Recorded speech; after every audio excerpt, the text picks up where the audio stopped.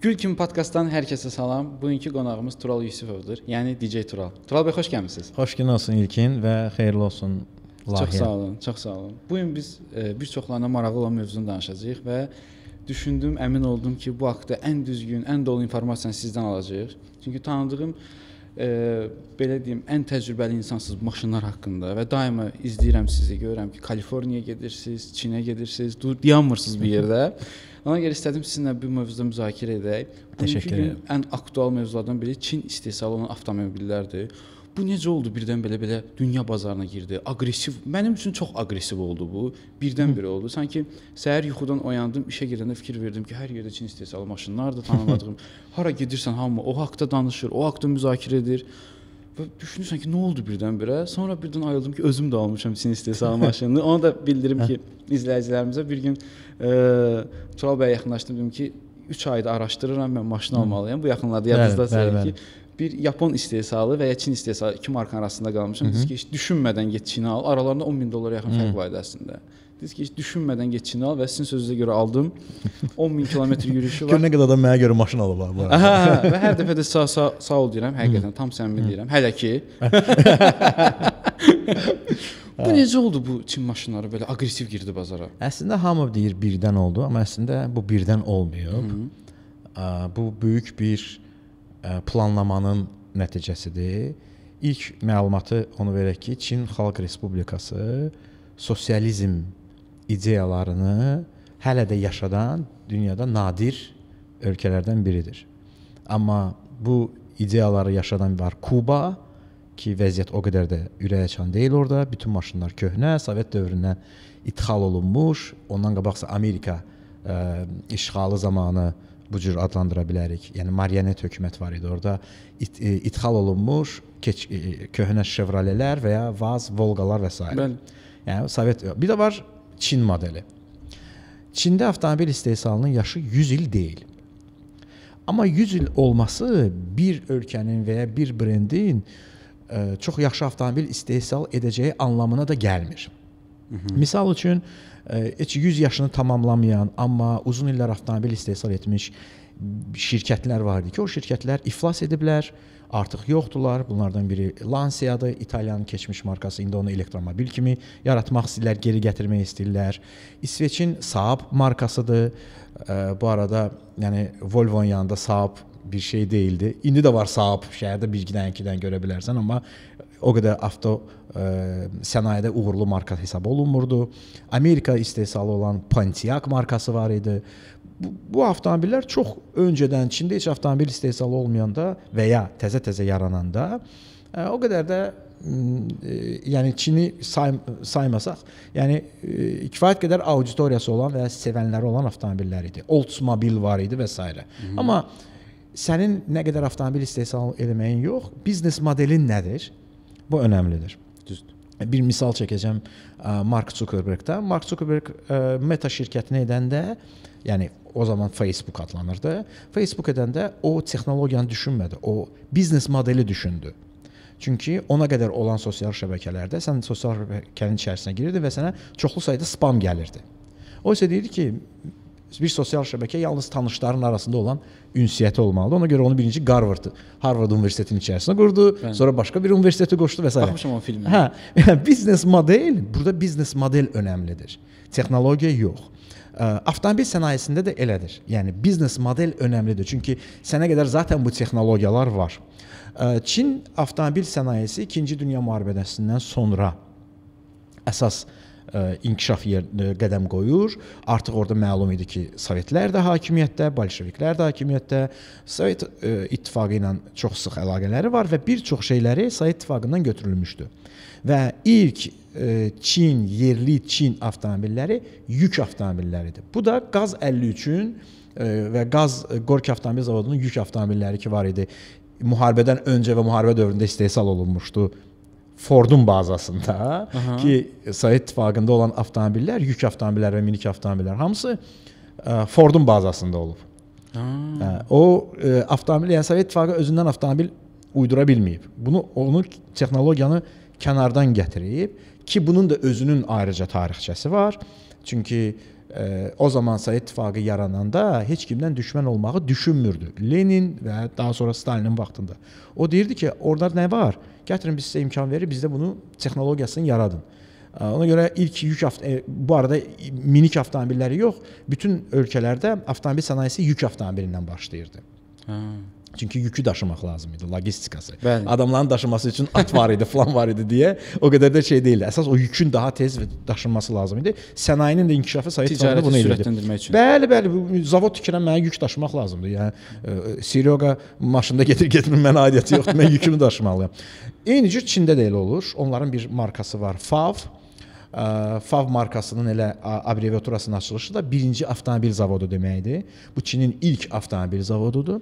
Orada ilk olaraq yük avtomobilləri istehsal olunur, sonra minik avtomobilləri istehsal olunur.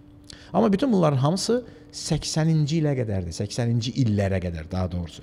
90-cı illərə qədərdir. 90-cı illərə qədər özəl olaraq Çində heç bir avtomobil şirkəti olmayıb. Hamısı dövlətin olub. Amma Çində bu illər ərzində aclıq olur. Milyonlarla insan qida çatışmazlığından həlak olurlar. Bu neçənci illərə düşür təxminən? Bu təxminən düşür 60-70-ci illərə.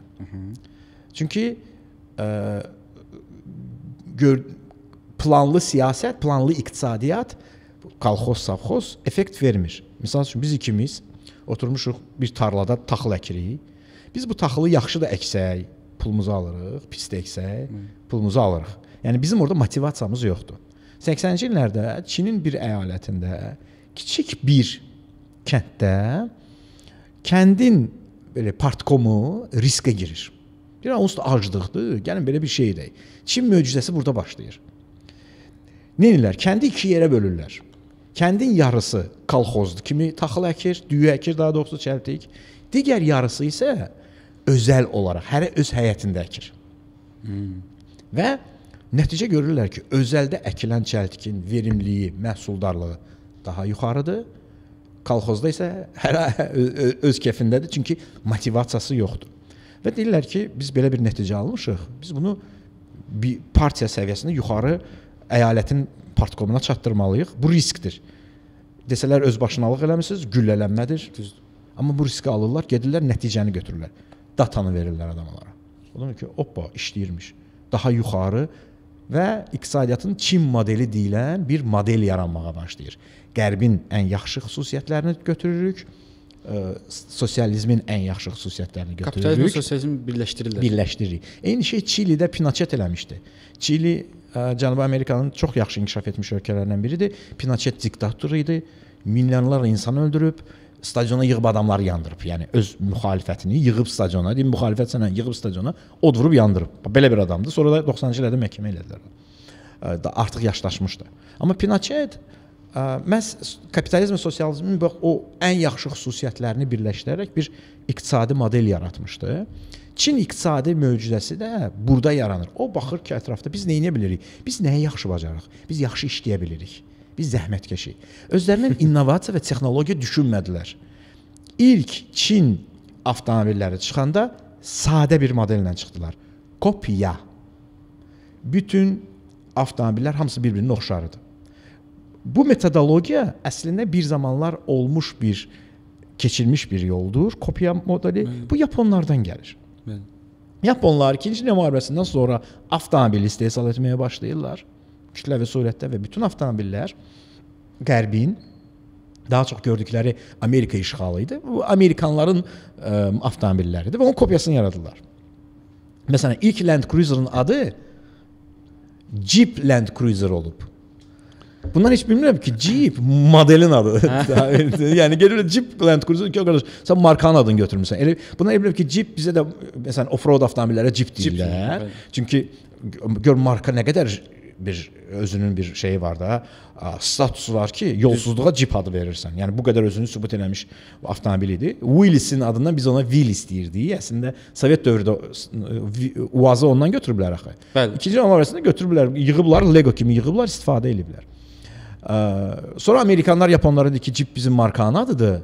Land Cruiser elə oradan başlayır getməyə. Yəni Yaponlar da ilk olaraq kopyalayırdılar. Texnologiya yox idi, biznes model var idi. Birinci biznes model kopyalanmaq idi. Amma bu böyük planın bir hissəsi idi.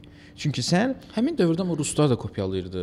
hamı Türklər kopyalayırdı. də kopyal- Ko- kopyalayırdı. Türklər də kopyalayır, Türklər ən pisini kopyalayırdılar. Başa-baş gedirdi. Hə, yəni. hə, amma e, rusların e, bu arada rusların e, e, məsələn Vazla bağlı deyək, Tolyatti e, avtomobil zavodu o vaxt İtaliyada hakimiyyətdə sosialistlər idi. İtaliya hökuməti ilə Sovet İttifaqı arasında çox yaxşı münasibət var idi və onlar müqavilə bağlamışdılar ki, Fiat 123 və digərləri ki var, indi Vaz 21011 deyirik, Vaz 2106 falan. Onların eynisini Sovet İttifaqında eyni konveyerdə istehsal etsinlər. Sonra məsələn e, Sovet İttifaqında olan e, paltar yuyan maşınlar İtaliyanın indi Indizit şirkətinin eynisi idi. Müqavilə var idi. Eyni texnologiyanı gətirirdilər. Sadəcə üzünü qoy, adını qoyurdu Soyuz 73 misal üçün. Copy paste edirdilər. Copy paste edirdilər və bu konveyerdə razılaşdırılmış bir şey idi. Bu razılaşdırılmış bir şeydi. Çində bu belə bir şey yox idi. Çin bunu eləmirdi. Çin konkret kopyalayırdı. Amma bunu qanunvericiliklə möhkəmləndirmişdilər. Qanunvericiliyə əsasən, yəni heç bir ölkə, məsələn BMW olsun, Mercedes olsun və digərləri bu ölkəyə gələndə həmin maşınları siz kopyalamısınız deyə Çin məhkəməsində uda bilməzdi. Çin qanunvericiliyində deməli adamlar nə edirlər? Plan qururlar. Biz nə edirik? Biz kopyalayacağıq. Axı kopyalasaq biz axı məhkəməyə verə bilərlər. Yox, məhkəməyə vermək üçün gərək bu maşın Amerikaya getsin, çıxsın. Qanunvericiliyə görə bu maşınların heç biri eksporta gedə bilməzdi. Kopyası çıxarılmış maşınlar yalnız Çin daxilində idi. Daxili tələbatı ödəmək üçün idi. Amma nə edirdilər Çinlilər? Öyrənirdilər, sərgilərə gedirlər, başqa zavodlara gedirlər, fabriklərə gedirlər. Məsələn, Fordu Ford eləyən nədir? Sual verir də. Yəni oturursan məsələn Tesla adi bir misal götürsək də. Tesla şirkəti 20 il bundan qabaq artıq onların avtomobili var idi. Amma o avtomobillər getmirdi. Niyə görə? Çünki litiy-ion batareyalar indiki kimi deyildi. Adamlar nə edirlər? 15 il gözləyiblər ki, bu batareya olan kimi bu maşın gedəcək. Yəni Musk biznes modeli var da. Bu o planlama çox irəli gedir. Çində də elə idi. Planlama bundan ibarətdir. Kopya eləyirik, öyrənirik, sonra özümüz edəcəyik bunu. Sonra ikinci mərhələyə keçirlər Çinlilər. Yəni o birdən oldu söhbətinə biraz uzun girirəm Bunu amma artıq bacardılar da etməyi. Bəli, kopyanı elədilər. Biz artıq kopyanı bacarırıq. Ha, indi biz nə edə bilərik? Bizim konveyerlərimiz var. Biz Ford şirkətinə deyirik ki, bax biz milyard yarımıq, bizim konveyerlərimiz var. Siz də burada satış edə bilərsiniz. Ford deyir ki, hə, necə eləyə bilərik? Məsələn, Ford Geely ilə indi burada reklamlar gedir, amma biz biraz şey eləyirik də, yəni aydınlaşdırmaq üçün marka adlarını çəkirik. Reallıq Hə, budur, ondan reallıq budur. Ford və Geely razılaşırlar. Bir konveyerdə həm Ford avtomobili buraxılır, həm də Geely avtomobili buraxılır. Onlar Forddan maşın istehsal etməyi öyrənirlər. Biraz varlanandan sonra konveyeri tam olaraq Geely şirkəti alır. Artıq orada deyir ki, mən öz avtomobilimi buraxacağam. Əvvəl avtomobil istehsal etmək Çində ucuz başa gəlir. İlk olaraq çünki konveyerlər verirlər, kollaborasiyalar yaradırlar və digər şeylər yaranır. Təbii ki, burada Çin dövlətinin özünün marağı olur. Özəl şirkətlər yaranırsa onlara dotasiyalar lazımdır. Özəl şirkət yarananda bu adam birdən-birə milyonçu olmur axı. Buna kimsə kömək eləməlidir. Dövlət ona çox aşağı faiz kredit ayırır, dotasiyalar ayırır, vergi güzəştləri verir və yekunda bu texnologiyaları hansı ki qərbdə ən yaxşı texnologiyalar var, onun Çin modeli yaranır. Yəni ə, deyirəm sizə 13 il bundan qabaq, 13 il bundan qabaq hələ Çin avtomobilləri haqqında biz bilmi, nəsə bilməyəndə Azərbaycana hələ 13 il bundan qabaq bir dənə Çin modeli var idi, Brilliance adlanır. Hı -hı. O Brilliance modeli BMW ilə eyni konveyerdə çıxır. Eyni maşında. Baxırsan elə bilirsən BMW-dir. Prosta adı Brilliance-dır. BMW ilə şərik eyni konveyerdə çıxır. X5 oxşayan. X5 oxşayan. Hə. Bildim Hə, aslında. hə, hə. Hə, belə qəribə, amma qəribə X5. Amma yəni Kitayski X5 idi. Hə, yəni qəribə X5-dir. Məsələn, 13 il, 14 il, 15 il bundan qabaq dünyada bir neçə şirkətdə lazer üsulu ilə avtomobilin maketinin hazırlanması var idi. Avtomobil hazırlanan zaman necə hazırlanır? Yəni ilk olaraq skeçlər çəkilir, sonra onun bir dənə ağacdan yonturlar bir konseptini. Ki bax belə olacaq.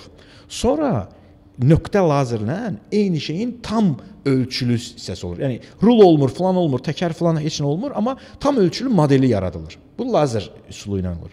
Bunu isə dünyada bir neçə şirkətdə olur da. Yəni bu Forddur, Mercedes-dir, BMW-dir. Volkswagen qrupdur Yəni və bir dənə də. Çində olur. Çinlilər sadəcə həmin aparatı kopyasını çıxardırlar. yəni gedirlər aparatla tanış olurlar, orasını baxırlar, burasını baxırlar və o şeyin tam ölçülü kopyasını çıxardırlar və daha ucuz qiymətə o lazeri, çünki o lazer aparatını heç kim satmır. Onu şirkət öz daxilində özü istehsal edir, öz mühəndislərinə ki, mənə bu lazımdır. Və yekunda Çinlilər onu yaradırlar ki, mən maşının bu böyük modelini yaradacağam. Və zaman keçdikcə nə baş verir? Adamların pulları olur. Dövlət dotasiya ayırır və dövlətin çox böyük dəstəyi var orada. Yəni dövlət əlini çəksə o şirkətlərin çoxusu çökər. Yəni siz indi 100 marka adı çəkə bilərsiniz Çinin, amma o hal-hazırda belə götürsək top 10 şirkət var. Hansı ki dövlət əlini çəksə o şi- 10 şirkət qalacaq. Digərləri çökəcək. Çünki bir çoxları əslində Dotasiyanı işləyirlər. Dotasiyadan işləyir və ziyandadırlar. O qədər də yəni şey deyillər. 2023-cü ildə Çin avtomobil eksportuna görə dünyada birinci yerdədir artıq. Bəli. Ən çox avtomobil eksport edəndir. Yəni Çin ə, eksport edir, rəsmi eksportdan söhbət gedir ha. Yəni qeyri-legal Azərbaycana o ə, naməlum avtomobillərin gəlməsi demək İkinci deyil. əl ya da- ikinci əl, nə bilim Qazaxıstandan fırlatdım Onlar gəldim. sayılmır. Onlar sayılmır.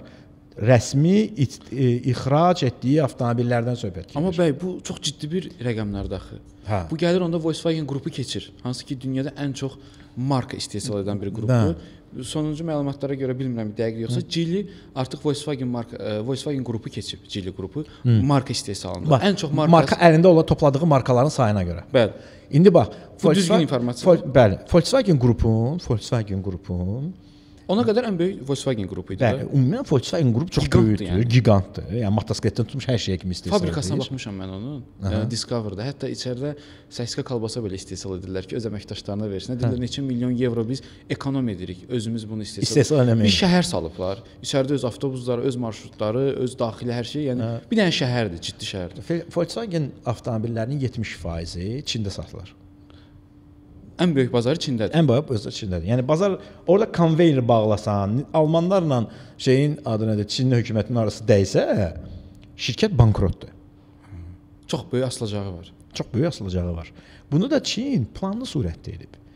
Eyni şey eyni yolu Koreya keçib. Biz Step step. hə? 90-cı illərdə Koreya maşınları ilk Sportage gələndə Azərbaycana, ilk Sportage gələndə ələ zarlı bu nə maşındır? Sonra Daew'lar gəldi. Daewoo Leganza çox xoşlayırdım o maşını. Harandı Devo? Daewoo Cənubi Koreyanın idi. General Motors sonra aldı onu. Ha. Daewoo indi Özbəkistanda istehsal olunur da. Ee, amma amma şeyindir, General Motors'un da Chevrolet'in də. Deməli Daewoo Leganza var idi, Daewoo Prince var idi və onun bir limuzin formatında bir böyük bir avtomobil də vardı. O adı yadımda deyil. Amma onlar artıq birinci Koreya avtomobilləri Kia, Hyundai və Daewoo gəlməyə başladı Azərbaycana. Və bu avtomobilləri biz baxanda dedik ki, bu nə dizayndır? Bu nə dizayndır? Ondan alanda deyir ağılsızsan. Hə. Get ondan sonra 20 O- sürmüş. A- ISO. Alman maşını. Hə, və yəni Vazda getmək daha şey elirdi. Amma Bugünkü gün amma Koreyanın mən 88-ci ilin rəhmətli əmimdə 88-ci ilin Sonatası var idi. Hyundai Sonata. İlk dəfə Hyundai Sonata onda görmüşdüm. 97-ci ildə Murmanskdan Bakıya qədər sürə-sürə gəlmişdi. və o maşının rahatlığından, yumşaqlığından rəzəl, amma dizaynlı bir şey deyildi, düz deyil. İndi Sonataya baxırsan, Sonata business class səviyyəsində oynamağa başlayıb. Yəni Grandeo premium segment gedir də. Premium segment gedir. Bəli, premium segment. Çünki orada Grandeo da var. Yəni Santa Fe əvvəlki Santa Fe-lərə bax, indiki Santa Fe artıq premium SUV segmentində oynamağa başlayır. Yəni bütün bu Çinin getdiyi yolu hamı gedib. Sadəcə Çin daha sürətli gedir. İndi 100 il olmağa ehtiyac yoxdur, çünki bəlli texnologiyalar var, bəlli adamlar var. Biraz pullanandan sonra adamlar çox bəsit bir iş e, gördülər. Nə elədilər? Bentley-də ən yaxşı dizayner kimdir? Filan kəs. Gəl. Rolls-Royce-də kimdir? Gəl. Yəni Rolls-Royce-un dizayneri Favda işləyir. Hongqi-nin Bəli, bilirəm. dizaynı məhz Rolls-Royce-dandır. Bentley-nin dizayneri başqadır. BMW-dən başqadır. Çünki məsələn e, Kia-nın uzun müddət e, dizayneri Peter Schreier BMW-dən gəlmiş. BMW-dən gəlib, bəli. İndi pensiyaya çıxıb. Cerato Optima deyəsən o Hər biri onundur və 2030-cu ilə qədər nə Kia çıxacaqsa, onun dizaynı olacaq. Adam pensiyaya çıxıb. Amma inqilab 2030-a qədər hər şeyini çəkib verib. Amma inqilab elədi də, yəni. Yəni Kia-nın dizaynında hə, çünki indi Kia ilə biz Hyundai müqayisə etsək, Hyundai daha şey ortodoksal şirkətdir, mühafizəkardır. Çünki ata idarə edir. Kia-nı oğul idarə edir və o daha başqa cür düşüncə. Amma ha, ikisi də Koreya şirkəti olduğuna görə Koreya fəlsəfəsi var onun içərisində. Mən hər ikisinin konveyerində olmuşam. Ə, Hyundai Mobis şəhərciyində olmuşam. Ora böyük bir şəhərci idi və orada avtonom avtomobillər test olunur. Hidrogen avtomobili Hyundai Nexia çıxmamışdı. Mən avtomobilin içərisində oturmuşdum və avtonom gedirdi. Hidrogenlə işləyən bir avtomobil idi. Lori dilində desək su ilə işləyən avtomobil. Yəni biz hidrogen deyəndə o qədər belə deyək də, Lori dilində oradan su çıxır. Yəni onun səs boğçusundan su damcılayır. Stəkana tutursan belə su yığılır. İç, hətta reklamında da belə eləmişdilər. Yəni Çinin getdiyi yola hamı gedib, amma Çin daha sürətli gedir. Və ona görə yəni səhər durdum, baxdım görüm hamısı Çin sürür deyil. Sadəcə adamlar çox uzun müddətli bir plan qurublar və o plan üzrə də gedirlər. Çinlilər yaxşı döyüşmürlər, amma Çin fəlsəfəsində razılığa gəlməyi var. Çinlilər razılığa gələ bilirlər. Onlar çox yaxşı Rusdan sonra priqavorşik. Ona görə az müharibə e, müharibədə həmişə işğal olunublar da. Onlar işğal eləməyiblər ki, həmişə onları işğal eləyiblər. Və həmişə müharibədən qaçıblar. Hə, hə, hə, fəlsəfələri olub. Daoçizm fəlsəfəsi məs onu deyir onlara. Yəni qaça bilirsən qaç. Şey elə bilirsənsə ticarətə gedə bilirsənsə ticarət elə. Anlaşa bilirsənsə anlaş. Məsələn Hollandlar. Hollandlar ordusu yox idi, Indoneziyanı işğal eləmişdi. Ordusu yox idi. Pulla ordu Cənub- tuturdu. Pul get mən niyə qırılmalıyam? Get orada kauçukdan sənə verəcəm vəssalam da. Yəni hansı yerlər tutur? Indoneziyanı, Cənubi Afrikanı. Deyir də onsuz da gələn bütün gəmilər mənim yanımdan gəlib keçəcək də. Çünki 16-cı əsrdə artıq Hollandlar başa düşdülər ki, onların torpağı yoxdur. Onlar deyirlər, biz misal verdik, Allah ə, ə, Tanrı Holland ə, Hollandları ə, Hollandlar isə Niderlandı yaratdılar. Suyun üstünə tökürlər və torpaq yarazdırırlar özlərinə. Deyirlər biz nəyi bacarırıq? Biz danışmağı bacarırıq. Nə edə bilərik? Bir-birimizin arasında razılığa gələ bilərik. Fərqi yoxdur, sən kimsən, nəçisən, filansan. Tolerantlıq kəlməsi də Hollandiyada ondan yaranır. İnsanın işlə bağlı biz səninlə razılaşa biləriksə, sənin dünya görüşün, e, cinsin falan heç bir şeyi fərq eləmir.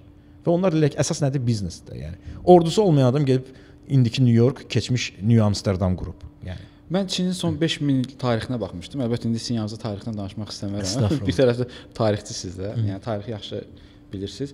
Son 5000 ildə baxanda görürsən ki, ancaq türk xalqları hər zaman hücum edib Çinlilərə. Çinlilər isə hər zaman müqavilə edib ki, gəl barış eləyək, barış eləyək. Yəni çox az olub ki, Çinlilər hücum etsin. Ə, Adətən də eləməyiblər. öz torpaqlarını qaytarmaq üçün ediblər. Hə. Amma ə, türk xalqlarının heç zaman torpaqlarına getməyiblər.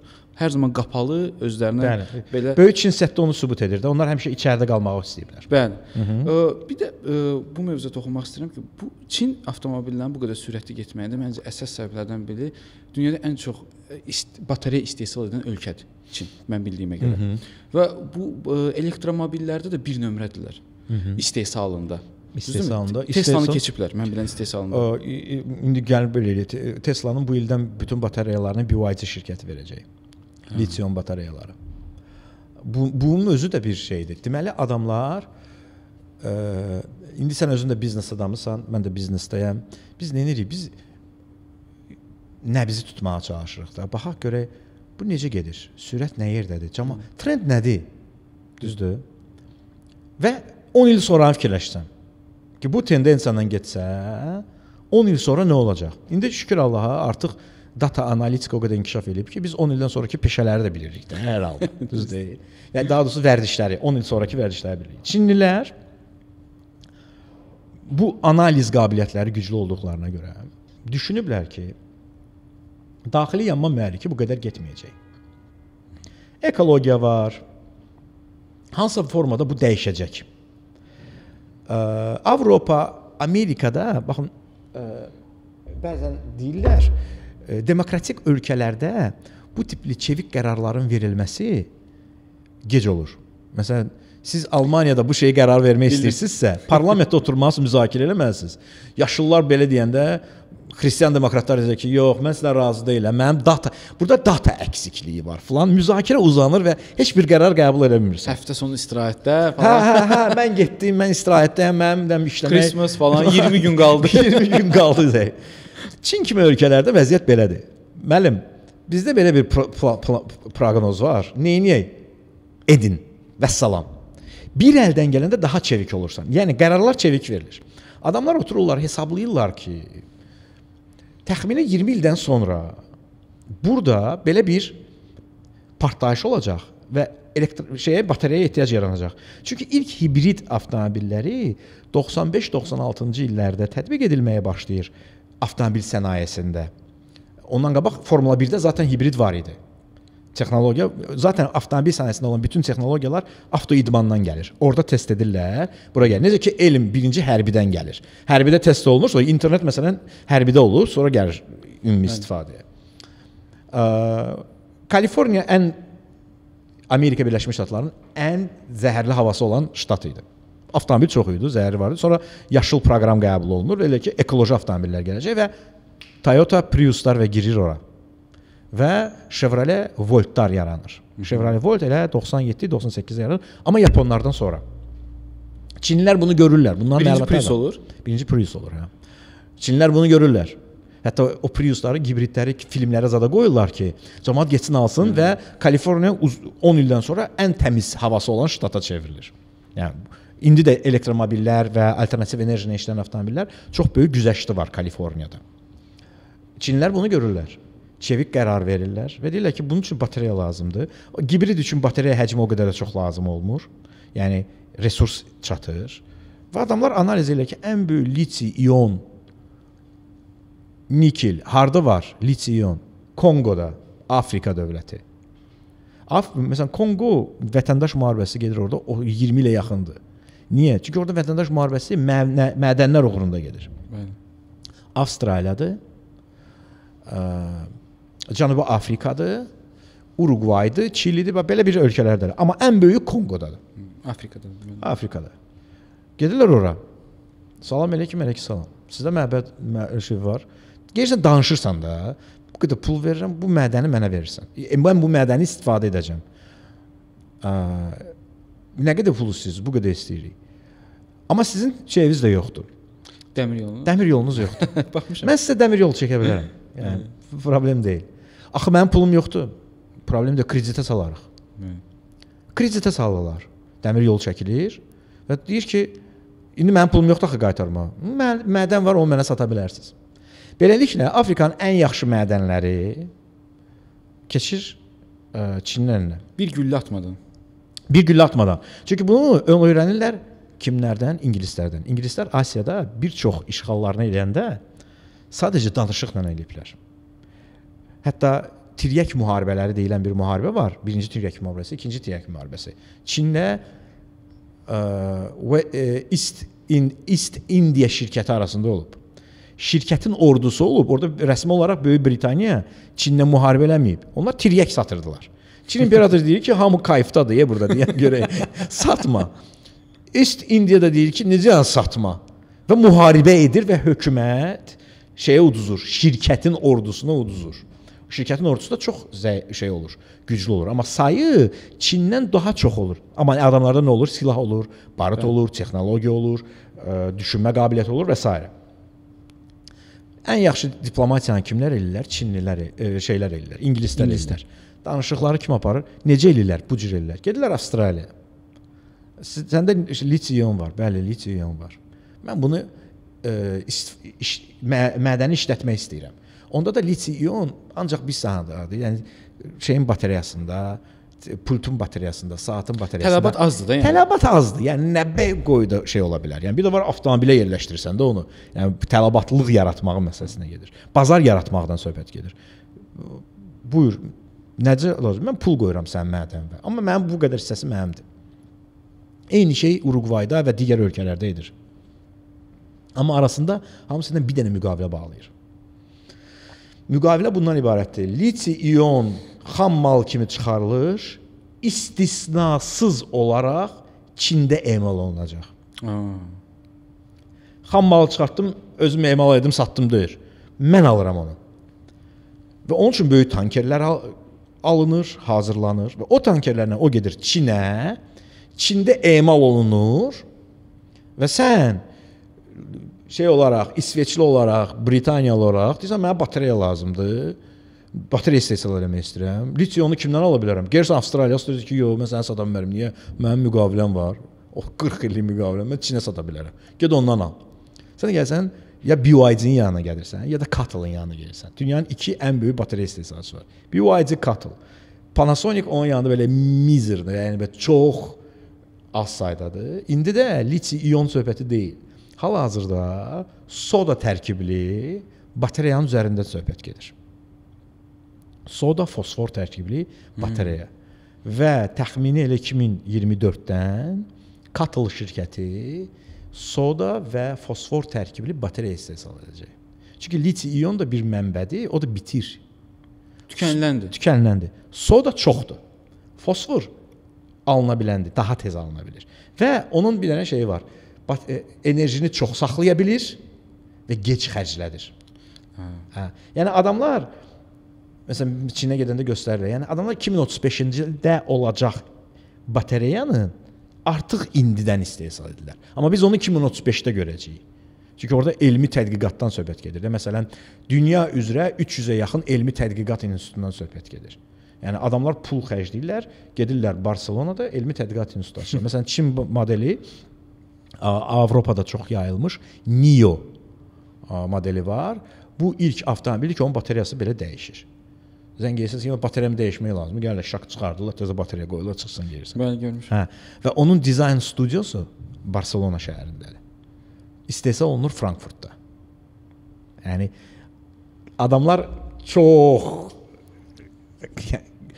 perspektivi düşünənlər. Yəni əslində bu biznes modelidir də. Bu biz bir case-dir. Yəni biz bundan baxaraq öz kiçik biznesimizdə də belə tətbiq edə bilərik ki, hara gedir bu? Sən analiz eləyəndə ki, 10 ildən sonra bazar necə olacaq? Mənim bir tanışım var idi. Biz onlarla bərabər işləyirdik. Namiq müəllim. Bir zamanlar Performance Center-də marketinqin rəhbəri idi. İndi başqa bir şirkətdə işləyir. Namiq müəllim deyirdi ki, Tural, mən də avtostopa təzə başlamışam. Televiziya veriş edirdim. Performance Center-da mənim verişimin sponsor idi televiziyada. Dedi ki, sən bu verişi eləyirsən ha. Bu qədər cəmaatı yığmısan. Deyir, əsas cəmaatı yığmaq deyil. Əsas cəmaatı yığandan sonra onu deyəcək sözün olmasıdır. Bu sözün varmı? 2. Müasir texnologiyadan nəyə istifadə edirsən? Bu, bu, bu, bu, bu. Deyir, hansı şirkətlər udurlar? O şirkətlər ki, müştərisindən qabaq gedir orada dayanır, gözləyir ki, müştərisi gələcək ora. 5 ildən sonra müştəri ora gələcək. O şirkətlər udurlar. Yəni Apple-da götür və digər şirkətləri də götür. Apple Vision Pro çıxardı. Və nə nə Vision Pro-nu təsəvvür ki 90 neçənci ildə patentini almışdılar adamlar. Onlar bilirlər belə bir eynəklər olacaq. Və mən bunu Samsung-da görmüşəm. Getmişəm Koreyaya. Samsung-un orada muzeyi var. Koreya, aha. Cənubi Koreyada, Seul şəhərində. Və Samsung-un muzeyində. Bu ailə şirkətidir amma düz deyil. Koreyanın ümumiyyətlə məncə bütün böyük şirkətlər ailə şirkətidir. Ailə şirkətləridir. Deməli, Kia-dır, Hyundai-dır, Samsung. İkinci Dünya müharibəsindən sonra hakimiyyətə çevriliş yolu ilə bir diktator gəlir, polkovnik, general daha doğrusu. Deyir, mən bu işdən başım çıxmır. Amma mən buranı ölkəni qaldırmaq istəyirəm. Ən varlılar kimdir? 5 dənə ailə. Klan. Sən buna cavab versən, sən buna cavab versən, sən buna cavab versən. Gedin. Vəssalam. İndi həmin ailələrdir. İndi həmin ailələrdir. Ənənə dəyişmir.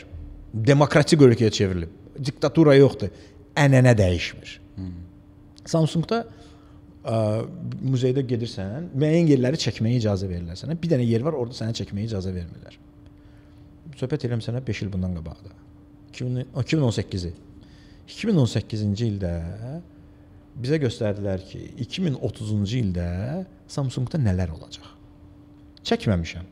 Amma indi Samsung-un o xaladenikləri var, e, smart xaladenik. Mən onu 2018-də görmüşdüm orada. orada var idi artıq.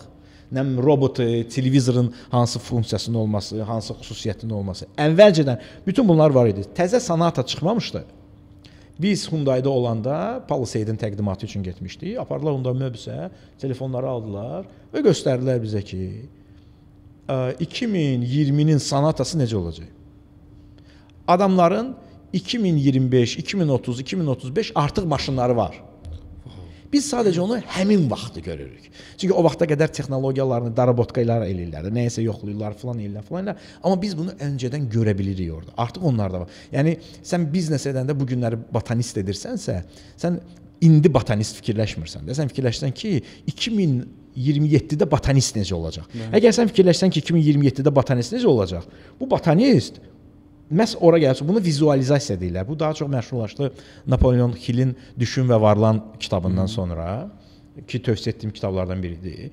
Yəni sən 2027-ni düşünəndə 2024-dəki işini 2027-yə apara bilirsən.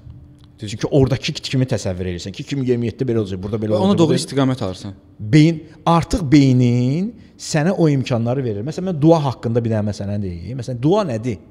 Biz deyirik dua edirik, qəbul olundu. Əslində o qəbul olunmaq söhbəti yoxdur.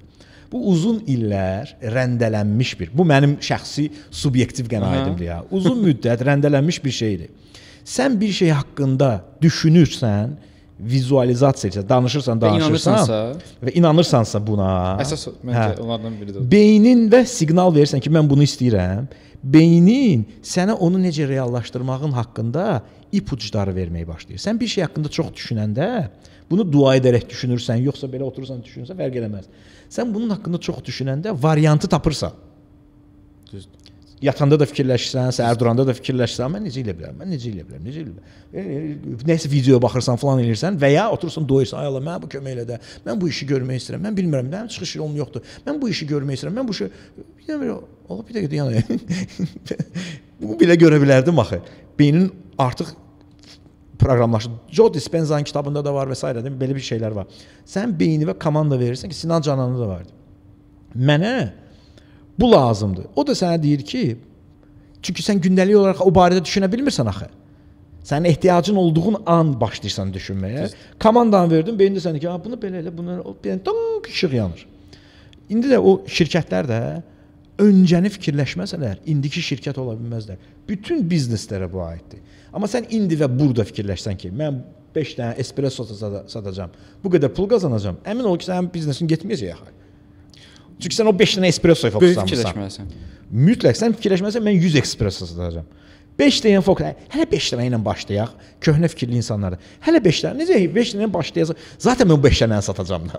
Deyir heç olmasa e, deyir məqsədin heç olmasa şah olmaqdır ki, heç olmasa ki bir vəzir ola biləsən. Hə, də. general olmaq istəməyən əskər əskər deyil söhbəti var. Eynən, yəni mən bugünkü gün düşünsəm ki, hə, bilmirəm, podkastım uğurlu olar, olmaz, nəyəm 100% uğursuz olacaq. 100%. Sən Amma bir eləməlisən. inanırsan, döyüşürsən, alınmır, yenə döyüşürsən, yenə deyən sizin söhbətgah podkastın ən başlıca uğurun səbəbi mən sizə deyim, özünüz də yaxşı bilirsiniz. Disiplindir.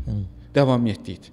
D- Hər hər həftə eyni saatda, eyni paylaşımlardır ki, bunu uğura gətirib çıxardır. Bugünkü gün Azərbaycanda söhbətgah deyəndə, podkast deyəndə söhbətgah yada düşəcək. Bu bir mənalıdır və həmişə də belə olacaq. Adi bir taksi şirkəti belə ilk hansıdırsa, taksi deyəndə ilk o yada düşür və ya Bax, bu gün səhər oğluma deyirəm, bu çəkilişə gələndə oğluma deyirəm ki, həyat disiplinlər zəncirindən ibarətdir. Səhər durdum, yerimi yığışdırdım, əl üzümü yudum, yeməyimi yedim, dişlərimi təmizlədim, iş planıma baxdım, tak tak tak tak ardıcıllığını elədim, təxirə salmadım. Disiplinlər zənciridir. Böyük brendlərdə Çin hal-hazırda bizə göstərdiyi zəhmətkeşliyin və disiplinin necə bir nəticə gətirəcəyinin göstəricisidir. Çində texnologiya yoxdur. İnnovasiya yoxdur. Onların elədiyi texnologiya və innovasiya əsrlər öncə kağız, feyrverk, barıt və s. uzun illər Çində apatiya olub. Heç bir texnologiya olmayıb. Monqollar gəliblər. Salam əleykum. Hə, biz sizlə meditasiya eləyə bilərik. Mədəniyyətlər o qədər güclü olub ki, Kubilay şeyə girəndə, ə, Çinə girəndə Çin dilini bilmirmiş də. Həyat yoldaşını Çinli alır. Bəli, bəli. Çin paltarı geyinir. Çünki mədəniyyətə çöl mədəniyyətidir. Hətta sonra ona qarşı öz milləti qarşı olub ki, sən e, Çinlilərlə bu Hə. qədər sıx olmalı Hə, hə. Yəni Amma sonunda da Çinlər Məsələn, sonra da sonra gör nə baş verir də. Məsələn, türk xalqları, Hunlar da çox ora hücum eləyirlər. Adamlar döyüşmə əvəzinə deyirlər ki, 3 əsr divar tikək. Nəinki döyüşə. Əslində 3 əsr döyüşsəydilər çıxmışdılar axırına. Mən nə istəyir? Axırlar gəl bir ona. də. Heç o divar olsa kömək eləmirdi onlara. Divar da kömək eləmir. Çünki divar çox özü davamlı olaraq getmir də axı müəyyən yerlərdən kəsilirdi də. Müəyyən qədər var idi. Yəni adamlarda texnologiya və innovasiya yoxdur. Adamlarda zəhmət var. Və Harda innovasiya var? Amerikanlarda. Çünki orada sərbəst düşünmə var. Sərbəst düşünmə olan yerdə innovasiya olacaq. Bunlar isə əmr verilir, turba düzəltməliyik. Vəssalam, turba düzəldilir. Deyirlər ki, turba düzəltməliyik. Ən yaxşı turbanı kimlər düzəldir? Amerikanlar düzəldir. Necə düzəldirlər? Belə düzəldirlər. Okay. Biz bunu daha ucuz, Daha sürətli. daha sürətli necə edə bilərik? Beyin bunun üzərindədir. İlk dəfə getmişəm sərgiyə. Cenevra avtomobil sərgisinə getmişəm.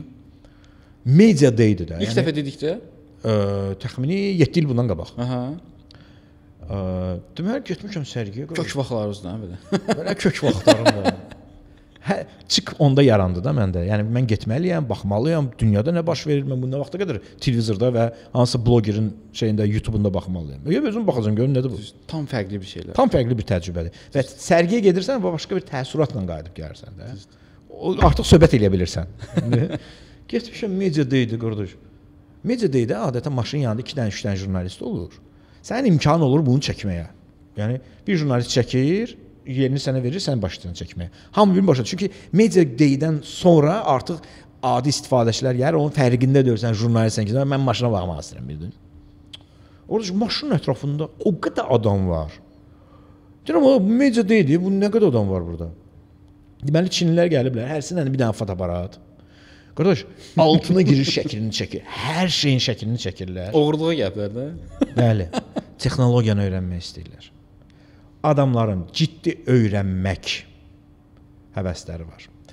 Bizimlə bərabər şeyə gedəndə, Çinə gedəndə ə, Əli Heydər ə, onun bir tanışı işləyirdi, oxuyurdu Çində.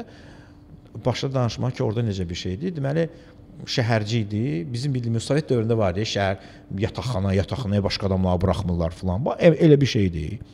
Səhər saat 8-dən dərs başlayır, axşam saat 7-yə qədər. Və tələbənin tələbə şəhərciyini tərk etmək hüququ yoxdur. Yəni bu qədər material var və sən bunu öyrənməlisən. Mən şəhərdə gəzirəm, milyonluq şəhərdir. Şəhərdə demək olar ki, heç kim yoxdur. Hamı işinin başındadır ya dərsindədir. Bomboşdur şəhər. Şey bitir, iş günü bitir, sən görsən hamı motosikletdə gedir, evinə girir, yeməyini yeyir, yatır. Deni var idi. Dedim, Deni, yəni sizin şəhəriniz libido killerdir də qardaş. Yəni heç bir enerji yoxdur da. Sən orada yaradıcılıqla məşğul ola bilməzsən. Sən kimsən nədir? Durdun, partiyanın əmridir bu. Robotsan da. Robotsan. Və bunu ciddi surətdə əvvəldən axıra qədər edirlər. Onların aldığı maaş Azərbaycanda alınan maaşdır. Hı -hı. Yəni oranın marketinq direktoru Azərbaycanda market avtomobil şirkətinin işləyən marketinq direktoru eyni maaşı alır. Amma iş yükü və iş həcmi fantastik dərəcədə çoxdur. Çünki o nə edir? Deyir ki, mən ba- Azərbaycanda da satıram, Gürcüstanda da satıram, Rusiyada da satıram. Bu bazarı kontrol eləyir. Hansı reklam kampaniyasını eləyirsiniz? Onlar nə edirlər? Deyirlər ki, sənin mədən doydu. Vəssalam, sən nə edirsən ki? Adı nədir? Başqa bir şey. Gir get işi gör. Zaten bunlarda Yəni bu işləyir belə. milyard yarım deyə bu adamların şeylə sən o milyard yarıma mən bu tam ciddi fikrimdir və Çinlilər yəqin ki bunu da bilir. Çünki zaten onlarda heç vaxt demokratiya olmayıb, imperator olub, onlar Hı. imperatora bir adamın hakimiyyəti ilə olur da. Ora sən demokratiya verə bilməzsən. Sistem çökər. İstehsalat çökər. Sən onu hansı firmada bir balans yaratmalısan. Amerikada təsəvvür etdiyimiz demokratiya Çində işləməz. 100%. Fransada təsəvvür etdiyimiz şey Azərbaycanda işləməz. Mümkün deyil. Hər xalqın öz xüsusiyyəti var. Yəni. İşçilər, yəni o cür olmalıdır orada. Çünki adamların məsələn Şanxay fərqlidir. Məsələn Guangzhou tamamilə fərqlidir. Elə başqa ölkələrdə də. Elə ki başqa ölkələrdir. Amma adamlar ciddi surətdə işləyirlər. Ciddi işləyirlər. Yəni sən biz deyirik ki, biz işləyirik, amma çox üzrsən biz işləmirik. ha onlar işləyir. Yaxşı başa düşürəm. Hə, hə, hə. Yaxşı başa düşürəm. biznes sahibi kimi başa düşürsən də. Yəni orada bir şey var, kondisioner şirkəti var. Dünyanın ən böyük kondisioner istehsalçısıdır bu arada. Ə, və heç kim o kondisionerdən şikayət eləmir Azərbaycanda. Marka Azərbaycanda da var. Uzun illərdir işləyirlər də. Və ən sənaye kondisionerlərindən tut ev məişət kondisionerinə qədər istehsal edən şirkətdir. Onlar nə edirlər? Qardaş, ən yaxşını kim eləyir də? Deyir, Toshiba eləyir, nə bilim falan kəs eləyir. Gedib texnologiyasına baxıb eynisinin daha əl çatanını eləyib. Heç bir şey əlavə eləməyib də. On offdur. Çin avtomobilini evdəki pultdan işə salmaq olur. Bəli. Hə, evdəki pultdan belə basırsan, saxlayırsan, şok işə düşür. Çünki infraqırmızı şüalardır da. Nə edib deyir? Valla bəsit texnologiya nədir? İnfraqırmızı şüanın göndərilməsi. Məsələn, bu evin pultudur ya, şeyin açarın pultudur. Eyni şüadır. Yəni adamlarda texnologiya yalnız mövcud olanın daha əlçatan eləyib və kütləvi eləmək. İndi hal-hazırda Çin avtomobilinə desənə 10 min dollar fərq eləyir. Bəli. İndi fərq eləyir. Və təxmini 8 ildən sonra, 10 ildən sonra heç bir fərqi olmayacaq. Və sən seçəndə deyəcəksən ki, mənim 70 minim var. 70 minə Yapon alım, 70 minə Çin alım, gəlib Çini alacaqsan. Çünki Çin içində o qədər şey verəcək ki sənə. Yapon onun yanında akvarium oxşayacaq. Bomboş. Bir saniyə, bəs bugünkü gün onda o 10 mini o hardan götür? Dövlət, dövlət verir. Ha. Çin avtomobillərinin ucuz olmasının səbəbi dövlət dotasiyasıdır. Onun qiymətləri Ki- dəyişəcək. Qiymət 100 Real qiymətlər deyil. real qiymətlər deyil. Bunun bateriyasının özü belə bahalı bah ümumiyyətlə elektrik avtomobil istehsal etmək bahalı prosesdir. Mühərrik bəllidir. 100 ildir bu mühərrik var. Bəlli bir texnologiya var. Bunu heç nə artırmaq, azaltmağa ehtiyac yoxdur. Turboda məlumdur, məlumdur, dizeldə məlumdur, bu birisi də məlumdur. Bunu sadəcə götürüb qoyursan. Bunun texnologiyası çox ucuzdur əldə eləmək. Elektrik avtomobilinin istehsalı çox məsrəflidir. Tesla plusda deyil.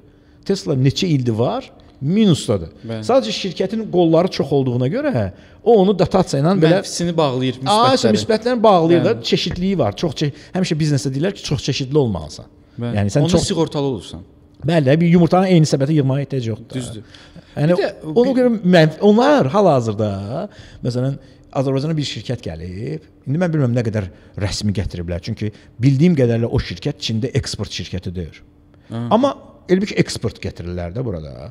Amma o şirkətin özünün maliyyə göstəriciləri Çində o qədər də yaxşıdır. Çünki o startap kimi başlayıb orada. Hal-hazırda dövlətdən dotasiyanı alır. Hmm. Amma dövlət müəyyən bir müddət keçəndən sonra dotasiyalarını kəsir axı. Kimdə uğurlu? BOIC, BOIC mənim investisiya eləməyim dövlət olaraq daha doğrudur. Nəinki X hansısa bir şirkətə də. İndi həmin şirkət məsələn bura gəlir, Azərbaycana gəlir. Düzdür? Mən deyirəm ki, məsələn okey də bu şirkət orada bağlansa burdakı nə olacaq? Heç. Hə, o maşının supportu nə olacaq? Mən getdiyim yerdə maşın dedi ki, qardaş, bağlanmışıq server indi qırağa burada saxla. bu məsələlər də var. Mən gələcəm bura, Hə. çünki bu çox vacibdir. Bir dənə o Konqo məsələsindən istəyirəm tamamlayım. Hə. Çünki mən bunu araşdırmışdım. Konqoda çox maraqlı bir proses gedir. Çin elə girib ki bazara, misal pulu verir, sonra deyir ki, sən bir şəhər salmalısan. Pul gəldikcə urbanizasiya getməlidir. Bütün tenderlərdə Çinlilər odur. Çünki mümkün deyil Çinlilər qədər sürətli və ucuz tikəsən. Hə, so. İndi həmin prosesə gəliblər ki, Çinlilər artıq bunlara pul vermir. Heç nə vermir. Öz şirkətləri arasında pul köçürdür və orada şəhər salır. Bəli. Yəni artıq pul getmir heç Konqoya. Bəli. Pul ə, Kitayda fırlanır, Çində belə Çində fırlanır. fırlanır. Bəli, orada şəhərlər tikilir. Və Ancaq Konqo borc- xalqı təxmini bir 50 il vergi ödəyəcək, 70 ilə yaxın vergi ödəyəcək. Amma borcu heç vaxt bitməyəcək. heç vaxt bitməyəcək və orada heç bir ölkə girə bilmir. Bəli. Girsə o pulu bağlamalıdır Çinə. Yəni elə bir o da real var. Və demək olar bütün Afrika qitəsini artıq belə əldə eləyirlər. Yəni bir güllə atmadan pulla bütün qitəni Yeri alırlar. gəlmişkən Afrika onlar üçün bir eksperimentdir. Məsələn, müəyyən bir əkə təsərrüfatı məhsulu əkməlisən. Orada et sınayacaqsan. Çində sınayırsan ki, gəlsən ora. Böyük bir yerdir də. Düzdür. Baxın indi gəlir bu mövzuya ki, biz bu maşınlara nə qədər güvənməliyik? Mən bu maşını əldə edəndə bir dənə gülməli bir məsələ var. Əslində bu mənim üçün gülməlidir. Mənə dedilər ki, "Əşrəf, bu maşınlar nədir?" Deyirəm, "Əzizim, baxın, bir maşını əldə etmək üçün, ortaya çıxartmaq üçün ən azı 20-30 milyard pul xərcləməlisən. Bəli. Bu bizim kimi bir ölkənin büdcəsidir. Bu 20-30 milyard kimdə varsa, əmin ol, bizim kimi 10 milyondan daha ağıllıdır. Bizim Bəli. 10 milyon beynimizi yığın ora. O pulu olan insan daha çox təcrübəsi və pulu var. Bu 20-25 milyard pulu qoymayıb ki, burada sən düşünəsən ki, bu xarab olub və bu 3 ildən sonra dağılsın. Bu istərsəniz bu dağılmalı deyil. Bu növbəti 50 ilə planlaşdırılan bir şeydir. Amma bu insanlarda güvən yoxdur. İndi siz bir bir e, DJ Tural olaraq, Tur Tural Yusifli olaraq nə məsləhət görürsüz? Baxın bu e, Çin istehsalı maşınları almağa dəyərmi? Deməli, Yoxsa tələsməyək? Mənim bir videom çıxacaq. Hazırlamışam videonu. Aha. Montaj ərəfəsindədir. Ha, Çin avtomobilini necə seçməli? Onu burada rahat danışa bilərəm. Heç bir şeyi də yoxdur, problemi yoxdur. Mən maşını misal alanda, çox Hə. üzr istəyirəm, səssiz kəsdim. E, normal bir video tapa bilmirdim. Ancaq sizin videolarınız idi, hansı ki sırf bir maşın haqqında danışırdınız. Azərbaycan dilində başqa bir maşın yoxdur ki, mən Çin maşınını nə ilə müqayisə edim. Bir də deyim ki, deyəsən ən çox elektrik mobilləri siz test eləmisiniz. Ən çox Azərbaycanda ən çox elektromobil məndə test. Hə, mən hamısına baxmışam. Hə. Digərlərinə baxanda çox azdır. Və bu Çin istehsalı maşınlar haqqında daha çox məncə videolar lazımdır. Necə müqayisə edək? Deməli, Çin mən biz bir avtomobil alırıq. Ə, İndi Volkswagen, BMW, Mercedes bunlar aydındır. Bunu qoyuruq yəni. Bu klişedir. Yapon dözümlüdür, daş döyəndir, nə bilim 40 il sürə bilərəm. Sən maşını niyə 40 il sürəsən? Kalaşnikdir də, xarab olmur. sən hə, Kalaşnikovdur da. Çünki adamlar nə fikirləşiblər o vaxtda yapanlar baxanda. Qardaş 4 dənə təkər, bir dənə motoru qoyduq. Nə qədər uzun ömürlü gedə bilər? Çünki maşın istehsal etmək dediyim kimi bahalı olduğuna görə bunlar onu ona görə uzun ömürlü edirdilər ki, ehtiyat hissələrinin istehsalında qənaət edə bilsinlər. Yaponların tık şeyi məlum idi. Qardaş bu getsin. Nə qədər çox gedə bilirsə, o qədər çox getsin ki, mənə çox yük düşməsin. Yəni, bu cür yanaşırlar. İndi elə yanaşmırlar. Zaten Yapon indi texnologiyasına baxanda, keyfiyyətinə baxanda başa düşürsən ki, ada hardasa nəyisə kəsiblər. Çünki maşını istehsal etmək bahalı prosesdir. Yaponda ən böyük rəqibi Çindir. Yəni Çin bazarına girəndə baxır ki, oğlum məni yeyirlər də burada.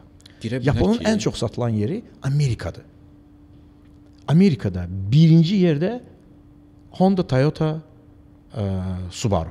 Bu 3 modelin arasında qırğın gedir Yaponiya şeydə. Amerikada orada girir hara Tesla, Özü 80-ci Ford illərdən də deyəsən. te- və nəyirlər sportiv avtomobillər Amerikanlar üçün eləyirlər. Lexus Amerikanlar üçün yaradılıb. Bəli. Bu tam yəni bəlli bir şey. Yəni o onların bazarı oradır. Amma vay o gündən ki Çinlilər bir dənə markasını Amerikaya salsınlar ki Geely'nin bir modeli Amerikaya girib. Amma necə girib? Onların bir şirkəti var. Sən suala cavab verəcəm necə seçmək lazım. Onların bir şirkəti var, Valeo şirkətidir.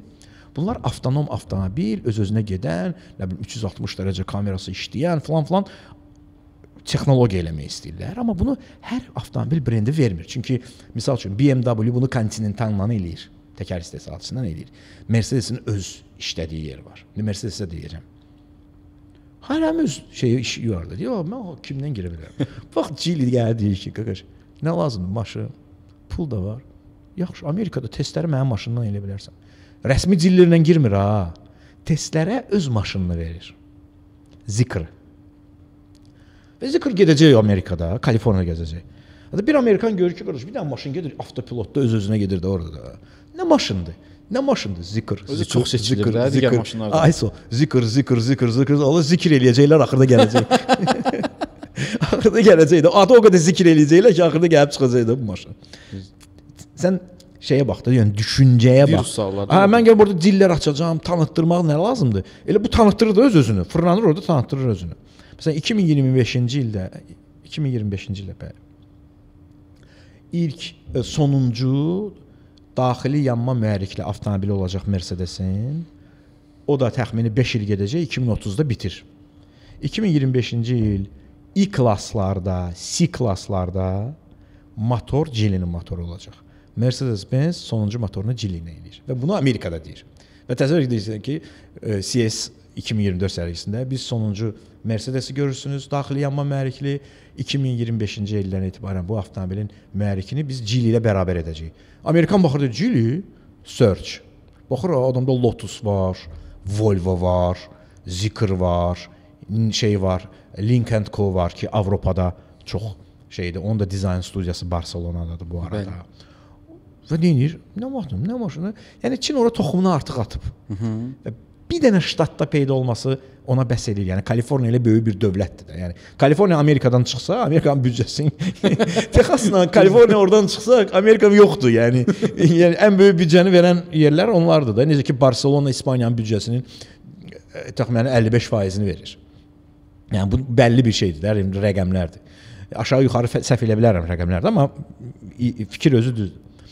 Ə, və Çin avtomobilini necə seçməli? Birinci biz Çin avtomobili seçəndə ə, baxmalıyıq. Bu maşını kim gətirir? Aha. Bu adamın gətirən adamın avtomobil gətirən bir diller təcrübəsi varmı? Çünki Azərbaycanda bəlli dillerlər var ki, onlar avtomobil gətirirlər. Uzun illərdir ki, bunlar ancaq avtomobil gətiriblər və servisləri var və digər şeyləri var. rəsmi servisi olan şirkəti birinci seçirik rəsmi servisi olan şirkət. Çünki rəsmi servisdə bu uzun illər Azərbaycan bazarında olmuş şirkətlər elə belə dayanmırlar da. Məsələn Hyundai və ya Audi-si və ya digəri. Bu adamların ustaları müəyyən dövrdən bir mərkəzə təlimə gedirlər. Çünki avtomobillər dəyişir. Və bu qlobalın tapşırığıdır. Yəni bu yox, həqiqətən göndərmirəm falan. Məcburidir. Məcburidir. Çünki sənin ustan o sertifikatlaşdırmadan keçməsə, qlobal artıq səninlə əməkdaşlıq etməyi sual işarəsinə qoyur və bu rəqabətli dövründə indi Ukrayna-Rusiya müharibəsindən sonra Azərbaycan bazarı biraz avtomobil xabına çevrilməyə başlayır. Çünki onlar avtomobili satmaq üçün buranı bir körpü kimi görürlər. Hmm. Və nə edir sənə? Deyir ki, bu işi daha yaxşı görə biləcək başqa kim ola bilər? 6-dan 7-dən şirkətdir də Azərbaycanda bu. Hə, filan kəsdir. Hə, mən bu bu bu bu tələblərim var. Eləyə bilərsən bu tələbləri. Hə, hətta Çinlilərin də öz tələbləri var. İkinci məsələ. Bu Çinlilərin etdiyi tələbə uyğun salonu, servisi, xidməti olan neçə şirkət var Azərbaycanda? Onların bir standartı var da, yəni. 100% proqram var. Bu standartdan kənar ola bilməz. Yəni sən bir Çin brendinin salonu onun Çində necədirsə, Moskvada necədirsə, Qazaxstanda necədirsə, burada da elə olmalıdır. Hı -hı. Loqo, font hər şeyə qədər də, yəni xidmətin özünün keyfiyyətinə görə. Çünki məsələn siz Zikrin salonu Zikrin standartına uyğun olmalıdır. Zikrin salonu məsələn nədir? Onlar ə, şeydə eləyirlər. Molların içərisində eləyirlər. Bu tələbdir. Yəni ekolojidir deyə. Gucci, Armani, Zikr. Mən burdayam göstərmək üçün. Aa. Orada bahalı brendlər molun içində satılır. Maraqlıdır. Hə. Yəni bu prosta molun belə ortasına qoymur ha. Mağaza kimidir. Sən gəlirsən, girirsən orada. Mən orada Cadillac Lyric gördüm. O molun içində gözləyir. O Cadillac Lyric. Girirsən bir ki şeyin mağazasına girirsən də. Yəni Port Bakuda bir mağazaya girirsən. Bir Port Bakuda mağazanın birinin içində maşın qoyublar. Gəlsən maşınla tanış olursan, oturursan, şeyləri, dəriləri seçirsən, kreslonu seçirsən, diski seçirsən, müqavilə pulu ödəyirsən, maşını deyirsən ki, məsələn 14 gündən sonra, 15 gündən sonra gəl maşını götür. Görürsən lazım olan nöqtədə maşını götürürsən. Yəni premiallığı göstərmək üçündür də bu. Bizim maşın aldığımız adam kimdir? Ən vacibi. Ən vacibi. Bu nə xidmət göstərir mənə? Mən gedib X adamdan bu maşını aldım. Sən bu maşını aldın.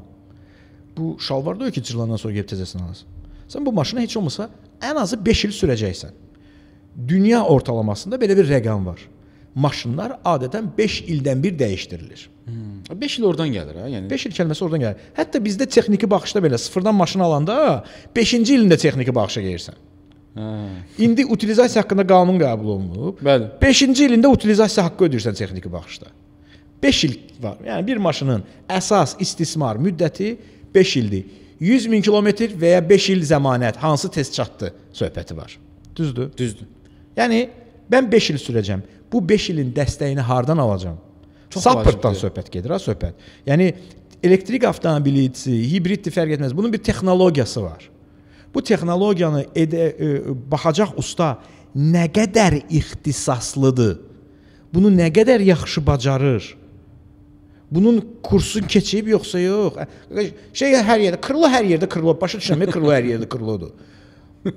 Bu krolonun arxasının altında yatan sensor var ha. O hər hər yerdə eyni deyil. Düzdür. Düzdür? Əlbəttə. Üç ikinci məsələ. Mənim krilo mənzildir.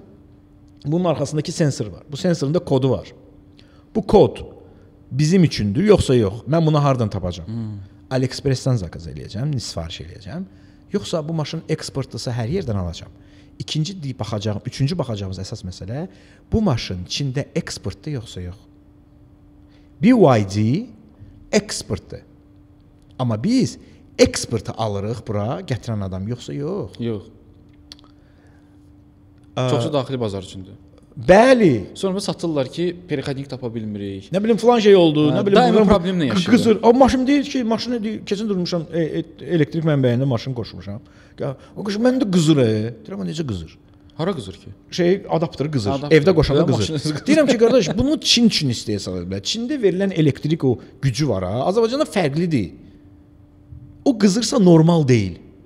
Əgər o qızırsa işarə verir ki, bu nəsə düz getmirdi. Niyə qızsın ki bu? Düz stop deyil. verir də. Yəni. Allah stop verir də. Sən dur bu yaddaşlıq falanı yandıracaqsan. Bizim şey e, Elçin müəllim var. Onun özünün elektrik avtomobillər üçün xüsusi servisi var. O elektrik avtomobillərə servis xidməti göstərir. Proqram təminatlarını falan eləyir, falan eləyir. Onun videolarına baxıram. Elə, elə maşınları, elə maşınlar gətiriblər ki, baxıram ki, görürsən əslində 50 min, 30 min, 40 min fərq eləməz də pulda. Bir riskə girmisən, elə bir maşını götürüb pul vermisən ki, bu maşının sapırtı ancaq şeydədir. Çindədir. Çünki o Çin onu daxili bazar üçün istehsal edib. Biz özümüzə sual verməliyik. Bizə gələn maşın daxili bazardır yoxsa xarici bazardır? Eksportlu maşındır yoxsa özü üçün nəzərdə tutulub? Qiymətləndirmə meyarlarımız budur. Bəli. Yəni Çox vacib amildir. Hə, çünki mənim maşınım Almaniyada da eyni maşındır, Amerikada da eyni maşındır və mən onu orada da xidmət göt götürə bilirəm. Burada da xidmət ala bilirəm. Yəni mən gedib öz Audi-mi Almaniyada istənilən servisə gətizdirib elə belə de de deməyəcək ki, "Ay yox, mən buna baxmıram." Amma sənin Çində aldığın Volkswagen böyük ehtimalla Avropada işləməyəcək. Çünki o sırf oranın bazarı üçün Çoxlar nəzərdə eləyir əslində. Mənim bir tanışım var, çox üzr istəyirəm sözünüzü kəsirəm. O Volkswagen-lə aldığı təriflədi super idi. Götürdü notebookuna. maşın çox yaxşı maşındır. götürdü notebookla özü ə, həm abnovit eləmək istədi, təzələmək istədi, həm də bir iki dənə Ümumiyyətlə maşın söndü. Sonra Waze-də qoşurdu sürəti, iş eləyib gəldi. Waze-lə ki, sürətini görsün ki, radara düşməsin. Heç nə işləmirdi. 2 ay elə sürdü, düzəldə bilmədi. Maşını apardı, satdı. Hə, proşifka olunmalıdır. Bunun 3-4 min dollar ucuz olsun deyə özü birbaşa gətirmişdi Çindən. Çin daxili bazarı üçün. daxili olan- bazar üçün nəzərdə tutulanda. Amma deyir ki, bir də elə səhv İndi eləmə. sual yaranır. Çin bu qədər maşını daxili bazarda olan maşını necə olur ki, bizə satır? Çünki Çinin qaydalarına əsasən daxili bazarda olan avtomobil var ha. O avtomobili eksport edə bilməzlər. Belə bir qanun var onlarda. Bəs necə çıxardır onu da ölkədən? Okay. İndi sual yaranır. Niyə çıxardılar ölkədən? Məlum olur ki, Çin də bu və digər modellər istehsalatını dayandırır. Honda NS1 dayanır. Uğursuz alınıb. Toyota BZ4X dayanır. Uğursuz alınıb. Çində satılmır. Volkswagen ID6 ID4 yox. ID4 Avropada da var. ID6 Avropada yoxdur. Ümumiyyətlə Volkswagen-də elə bir maşın yoxdur. Necə? O Çin üçün hazırlanıb. Çünki Çinlilər böyük maşın xoşlayır. Çində istehsal olunur, düzdürmü? Çində 7-ci seriyanın L versiyası var. Al 7-ci seriyanın nə qədər uzada bilərsən də. 7-nin longu var da, lo- fullun fullu da. Yəni onlar xoşlayırlar uzun maşın. Ona görə IC4-ü uzadıblar. Belə bir maşın eləyiblər IC6. Amma Avropada IC6 yoxdur. Ben Bu bunu sırf Çin. bilmirdim. Hə. Çin üçün nəzərdə tutulub. İndi bu maşın ID6 digərlərinə baxanda mən test etmişəm maşını. Çox yaxşı maşındır. Elə bir ID4-dür amma böyükdür də. Bəli. Çox yaxşı. Amma bu maşın bazarda daxili bazarda uğur qazanmır. Çünki nə var orada? BYD var. BYD tank var. Great Wall-unki var. Geely'nin özünkiləri var. Sən baxırsan mən bunu niyə istehsal eləyim, düzdür? İndi bu da qalıb onun əlində. Bunu kimə sata bilərəm? Qazaxstan, nə bilim, Rusiya, hansı ki Çin sərhədlərindədirlər. Mərkəzi və Azərbaycan. Qazaxstanın işi asandır əslində. Sərhədin bu tərəfidir və Qazaxstanda o tok yerləri ki var, hamısı Çin başlıqlarıdır. Onlar öncədən proqnozlaşdırıblar ki, bizdə Çindən alırıq maşını. Elə bunun başlıqlarını belə eləyək də. Şey deyir, CCS 2 deyir. Özlərinki də GPT-dir. Rahat işlərini görürlər. Lazım olanda sərhədin o tərəfinə keçib Yəni sərhədi keçsə, istənilən Çin şəhər, şəhərinə bunun servisini göstərə biləcək də. Onun üçün asandır, nə Özbəkistan üçün asandır. Qırğızistan üçün asandır. Azərbaycan necə Xəzəri aşıb gedəcəksən Çinə ki, mənim maşınıma bax. ID 6 onda ekspert üçün yoxdur. Eksportlu maşın deyil. Və biz nə edirik? Çox Məsələn, maraqlıdır. Mən bunu bilmirdim. indi bax. Ə, Cherry-nin ilk eksport olunduğu ölkə Qətərdir. Niyə? Əslində onun şansı yoxdur o bazarda. Təsəvvür etsən ilk şeydədir, 10-luqdadır Cherry. Qətərdə. Qətər İndi sual yaranır da. Bir Qətərlinin pulu var. Pula pul demir. Niyə gedib China alsın? yəni. Hə, o moda al, o moda alsın. Niyə Cherry-ni alsın? Aha. Deməli onun içində olan şey o maşın ona uyğundur. Sən pulu nəyə verirsən? Sən pulu şeyə verirsən. A, funksiya verirsən. Sən maşın almırsan, sən funksiya alırsan. Düzdür. Funksiyası olmayan maşını niyə alasan ki? Məsələn, bu sən heç bir funksiya daşımır. Deməli sən pul verirsən ki, funksiyalasan. Deməli o maşının içindəki o funksiya digərləri ona vermir deyə. O təbii ki, onun ikinci, üçüncü, dördüncü, nə bilim, 6-cı arvadının maşınıdır, nə bilim, 7-ci arvadına olan 9-cu övladının maşınıdır filan. Amma mən Dohada olanda Chery avtomobillərini görmüşəm. Sərgidə də olmuşam, Chery-nin nəticələrinə də baxmışam. Chery dünyanın 50-yə yaxın ölkəsində var. Meksikada var. Meksika avtomobil istehsal edən ölkələrdən biridir. Bəli. Yəni Hyundai da orada yığılır, Kia da ki Amerika bazarı üçün maşınlar yığırlar. Böyük istehsalat ölkəsidir. Bəli. Cənubi Amerikada var və Chery Avstraliyada var. Necə gedib çıxır İndi biz necə qiymətləndiririk? Bu harda satılır? BYD Avropada satılır. BYD-nin elektrikləri şeydə var, Norveçdə var. Məsələn Zikr. Zikrın alın şüşəsində biz şəhərlərin xəritəsini görürük. Məsələn, London. Bəli, bəli, bəli. Bu onu göstərir ki, biz Avropaya gedirik. Çünki zikr bildiyin link and kodu. Həmin şeydir. Və sən bir dənə maşının axı maşının sertifikatlaşdırılmasından söhbət gedir. Maşın sertifikatı alandan sonra ki, mən bu maşını burada Avropada sürə bilərəm. Yəni söhbət Euro NCAP-dan keçməsindən gedir. Avropa İqtisadi Komissiyasının verdiyi qərarlar var, texniki reqlamentlər var Avropanın, ondan gedir. Sən Link Co-ya sertifikat almısan, düzdür? -hı. Sənin adını zikr qoymağa ehtiyacın yoxdur. Link həmin zikr olacaq, adını Link Co qoyacaqlar, əlavə sertifikatlaşdırmağa ehtiyac olmayacaq.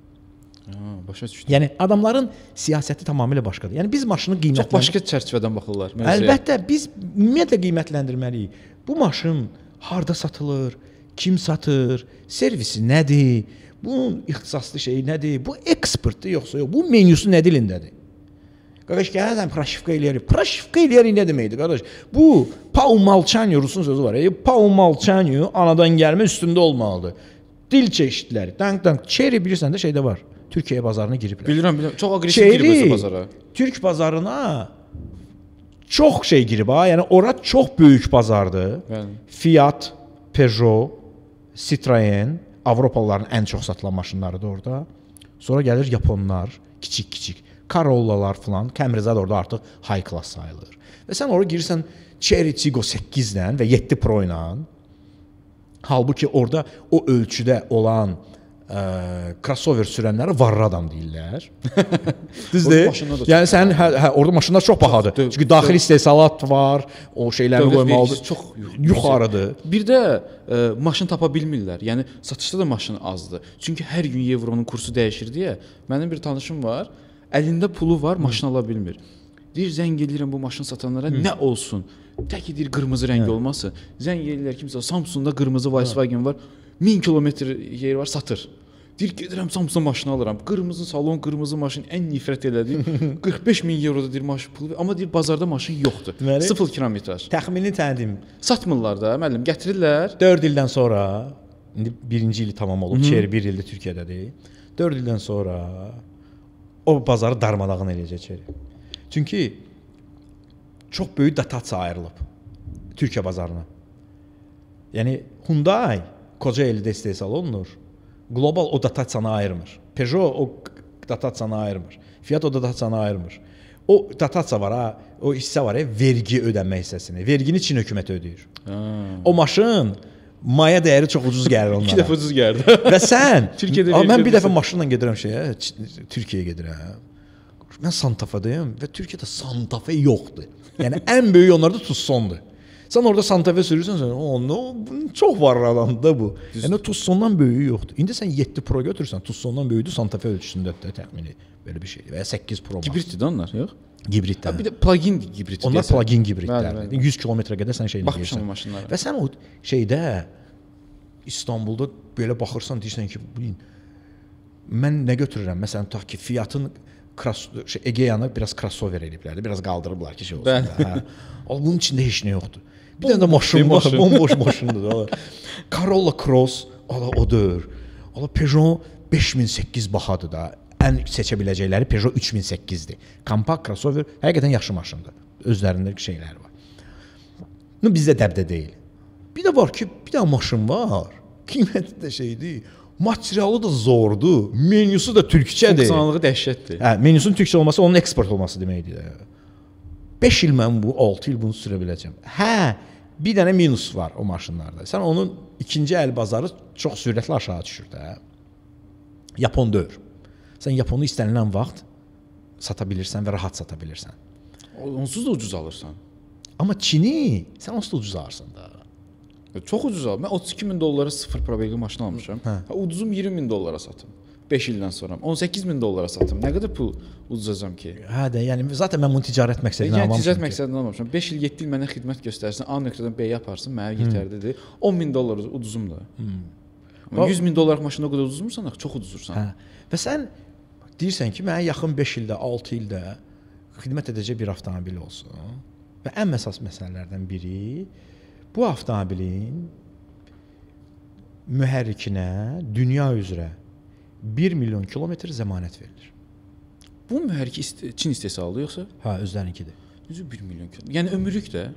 Ya da 1 milyon kilometr sürməyəcəksən. Hə, ömürlükdür də, yəni. 1 milyon kilometr zəmanət verəcək və bunun arxasında şirkət dayanır, Global dayanır. İl verirlər qarşısında 10 ilyə. Yo, yo, yo, yo. 1 milyon kilometr. 1 milyon kilometr zəmanətdir. Sən Buyurun. 7 illik zəmanət sənin əsas hissələrindir.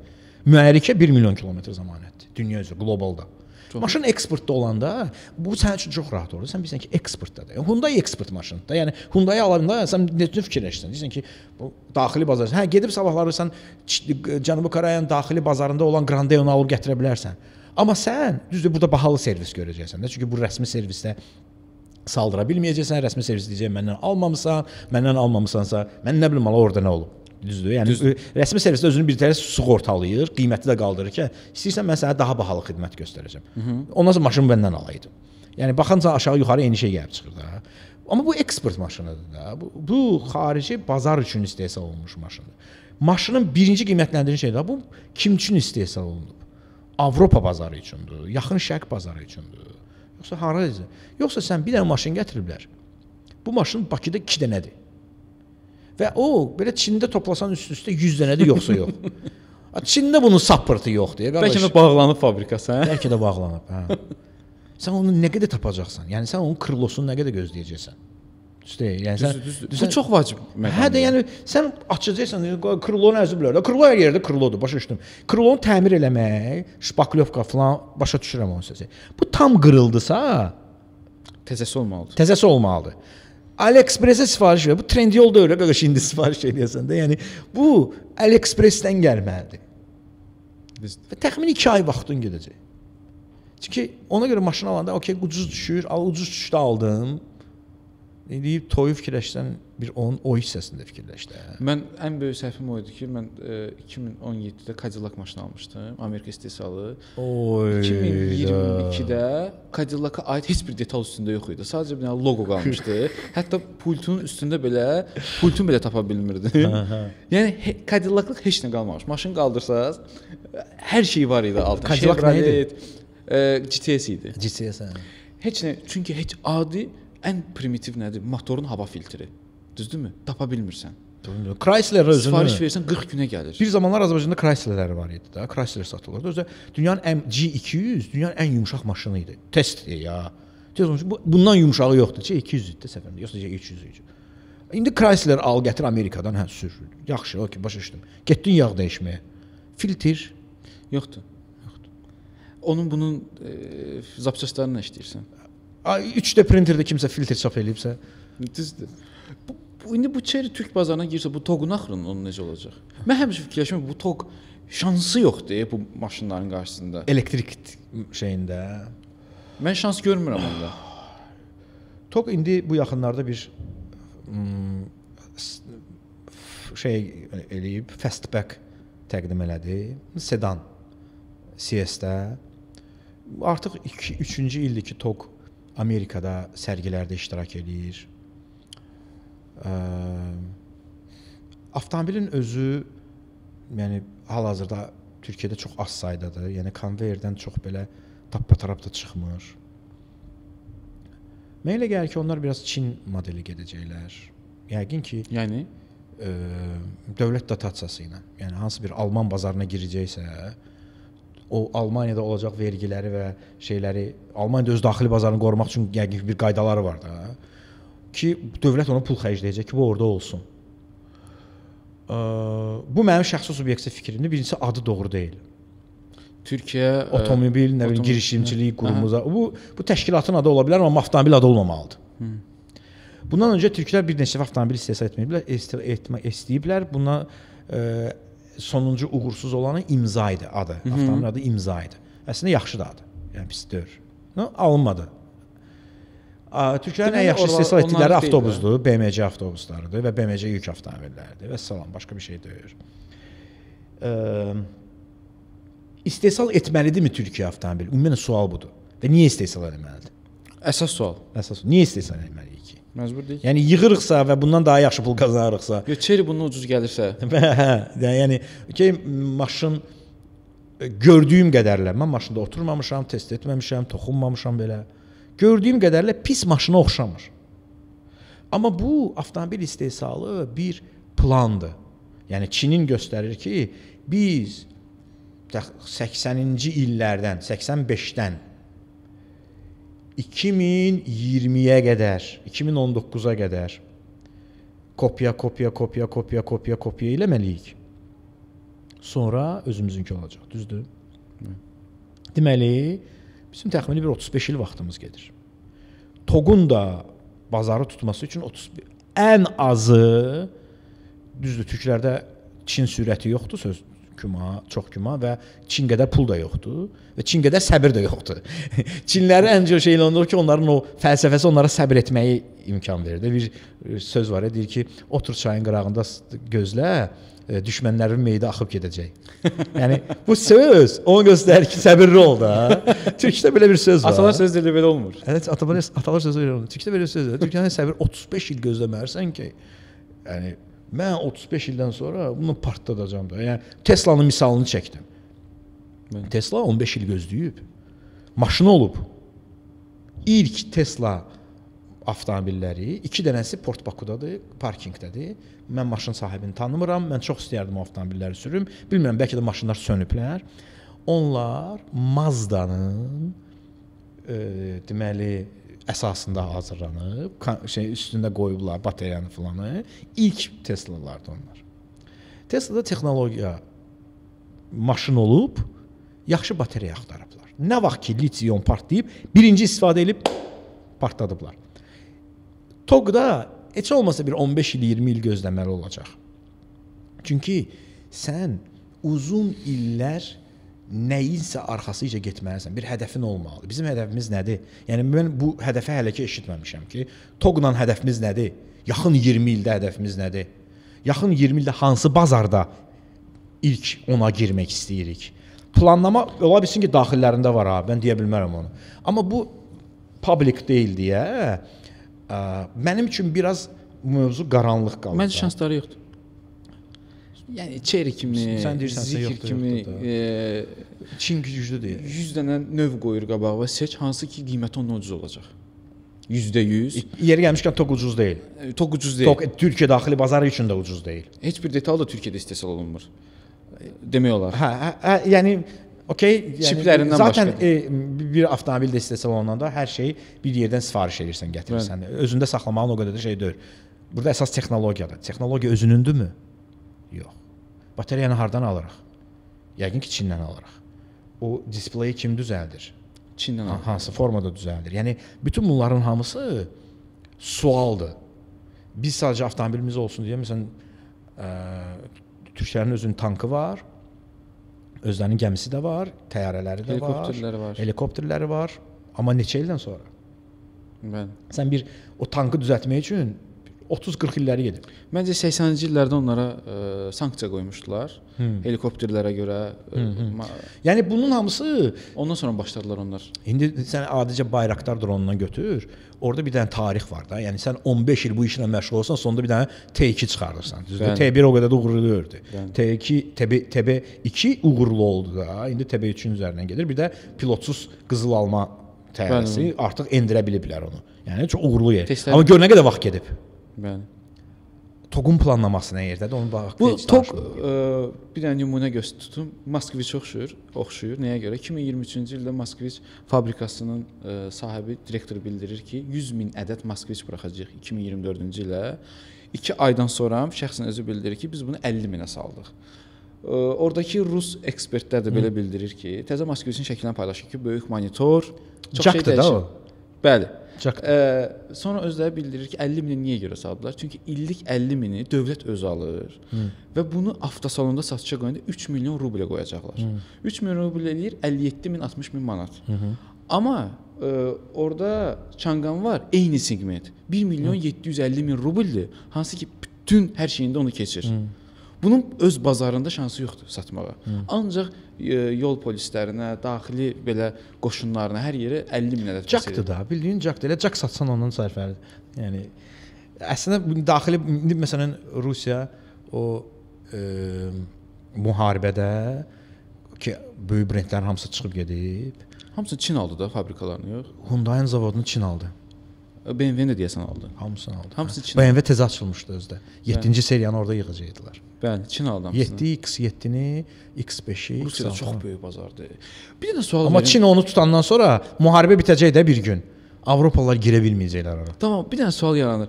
Batareya adətən deyirlər ki, bu ə, soyuq temperaturlu ölkələrdə və yerlərdə çox məsləhətdir. Bu doğru Düzdür, məsələdir. düzdür. Çünki batareya həm məsələn indi də məndə temperatur 5 dərəcədən aşağıdır, batareyanın effektivliyi aşağı düşür. Niyə görə aşağı düşür? Batareya həm də öz-özünü qızdırmalıdır. Artıq sən nəyəsən? Sən deyirsən ki, məndə qızdır, maşında qızdır. Batareya ilə qızdır. Aha. Onda 2 qat güclü Soyuq işləyir. ölkələrdə Soyuq ölkələrdə batareya effektiv deyil. Ona görə ə, plug-in hibrid ən yaxşısıdır hal-hazırda. Bu dəqiqə texnologiyaların arasında ən yaxşısı plug-in hibriddir. Okay, şey hidrogen çox sərfəlidir, çox sürətlidir, çox kilometraj verir. Biz Azərbaycanda hidrogen ancaq sənaye üsulu istehsal olunur, sənaye müəssisələrindədir. Kütləvi istehsal yoxdur. Kaliforniyada var, qanunverici icazə verir. Kaliforniyada deyilik də, Azərbaycan reallığından danışırıq. Azərbaycan reallığı üçün ən yaxşısı plug-in hibriddir. Elektrik də- deyil. mən Elektrik deyil. Çünki elektrik mən təmkinli adamam, səbirli adamam da. 2 gündən bir gedə bilərəm tokada. Yəni azaldı, hə gedə bilərəm. Biraz daha şeyəm. Amma elə adam var ki, mənə kimi deyir axı. mən mən gedə bilmərəm, yəni. Sən gəlib saatlarla oturasın, görsən ki, düzdür. Maşın hardadır? Qoymuşam falan yerə, çıxacam botanistə, ayaqla tak tak tak gedəcəm. Sən bunu eləməyəcəksən də. Sən deyirsən mən zamanım Bir də var. bir şey var da. Bu maşın elə bir şeydir ki, istəmirsən sərhədin olsun. Bu mənə deyir ki, 500 kilometr gedə bilərsən. Mən istəyirəm maşınım sərhədsiz olsun. Hə də, yəni, bu Yəni istək benzini vurdun, Plug-in hibrid bu baxımdan plug-in hibrid çox şeydir. Plug-in hibridin ən böyük xüsusiyyəti müsbət cəhəti nədir? Sən batareyanı şəhər içərisində istifadə edirsən, benzinə dəymirsən. Şəhərdən kənara çıxdın, benzinə keçəcəksən. 80 90 kilometr verir 100 də. kilometr artıq verən var. Artıq Plug-in. 100 kilometr var plug-in hibriddə. Ə, və sən o kilometraj ki alırsan, sənə ləzzət eləyir. Düzdür. Çünki batareyadan istifadə edirsən, bunu da istifadə edirsən. Lazım onda qoşursan, şey tok işləyir, şey benzin işləyir, generatoru başlayır şey eləməyə. Ə, qidalandırmağa. Biz onda ümumi mövzunu belə toparlasaq. E, bildirdiniz ki, biz Çin istehsalı maşını alanda əsas birincisi biz ona baxmalıyıq, rəsmi dilləri olsun. Kim gətirir? Çünki onun detallarını hər zaman servisə Servisi, baxa bilən xidməti olsun. kimdir, nədir bu? E, kim gətirir? İkinci məsələsi ən vacib nə idi? Biz fikir Sual su, birincisi mənə salona girəndə sual verməlidir ki, qardaş sən bunu rəsmi gətirirsən, distributorsan sən? Ha, Ola bilər ki, adını qoyub amma rəsmi deyil. Əlbəttə. O. Distributor olanda onun divarında asılır ki, əməkdaşlıq şeyi olur. Hər bir şirkətin əməkdaşlıq üçün şeyi var. Razılaşması var. Aa. %100 e, yəni Tamam, distributorsa Hə, distributordursa, uje ikinci sualım odur ki, sən support 5 il, yaxın 5 ildə mən xidmət necə xidmət alacağam səndən? Mhm. Ehtiyatsan, neçə günə gələcək? Aylarla, illərlə var. Stokum var. Baxa bilərəm stokunuza. Hamısı deyir var. Doğrudan var bu stokları. Ə, rəsmi Azərbaycana gətirilən Çinlilərin hansı ki eksport maşınlarıdır, onların stoku var. Çünki şeyin şirkətin özünün tələbidir bu. Standartıdır ki, almalısan Standartı da. ən çox qırılan nədir? Patpresdir, krılodur, nə bilim, faradır filandır. Standart. Elə şey ola bilər ki, elə detal ola bilər ki, o çox nadirən qırılır. Bəli. Adamın bəxtinə bu düşüb. İndi biz bunu gözləməliyik. Bu normal bir hadisədir. Bu tam normal texnikadır. Bu tam Hər şey normal bir şeydir. Zavod da deyir ki, qardaş, mən bu unu çox az istehsal eləyirəm. Gözlə görün mən bu harda harada var. Yəni bu biraz logistikası məsələsi var. Çinlə aramızda böyük bir zaman fərqi var. Biz səhər yazanda ona ge gecə çadır. Bütün yəni o oyanır biz yatmışıq falan. Yəni bu zaman etkisi olur da. Amma ümumi detallar ki var, hansı ki daha çox qırılırlar ki, belə bir data var ki, maşında daha çox nə qırılır. Əlbəttə ki. Reglamentə görə onlar stokda olurlar. Hı -hı. Sən də deyə bilərsən ki, qardaş, mənə göstərə bilərsiniz ehtiyat hissələrinizin olduğu anbarı. Mən onu dedim, mənə göstərdilər, rahatlaşdım. Bütün. Ondan sonra da aldım. Sən özü sən aldığın y- şeyi şirkət uzun illərdir Azərbaycanda var. Çox sağ ol müəllim. Məsləhət qeyd. Tam səmimi deyirəm. Yəni o o şi- şirkət həqiqətən Azərbaycanda uzun illərdir var. Yəni Azərbaycanda Çin brendi olmayanda birinci onlar pikapı satırdılar. Hmm. Onun pikapı var. O markanın Bəli, Great, bəli, bəli. Great Wall'un pikapı var. Azərbaycanda ən çox satılan pikapdır. Yeni modellə gəldim. Hə. Onun bir dənə modeli var. H9. H9-u sən stokda tapa bilməzsən. H9 tapılmır. Və H9-a indi sahib olan adamlar satmırlar o maşını. O Land Cruiser Prado-nu susuz aparır, suzu gətirir. Qalxır da, düşür də arxa differensialların bloklanması, yəni nə varsa hamısı onda var. H9-u indi get ki, mən H9 almaq istəyirəm. Sənə deyəcək ki, gözlə 6 aydan sonra. Bütün behlər də verilib, maşın da sifariş edilib. Yəni tam olmuş bir şeydir də. Sən Gilin salonuna get, bəlli bir marka modeli var. O modeli sən indi ala bilməyəcəksən. Hamı alıb onu. Coolray-dən söhbət gedir. Bəli. Gedib baxmışdım, bəyənmişdim. Hə. Sadəcə gibrid deyil də. Gibrid deyil, yox. Onun, onun gibridi olacaq yaxın vaxtda.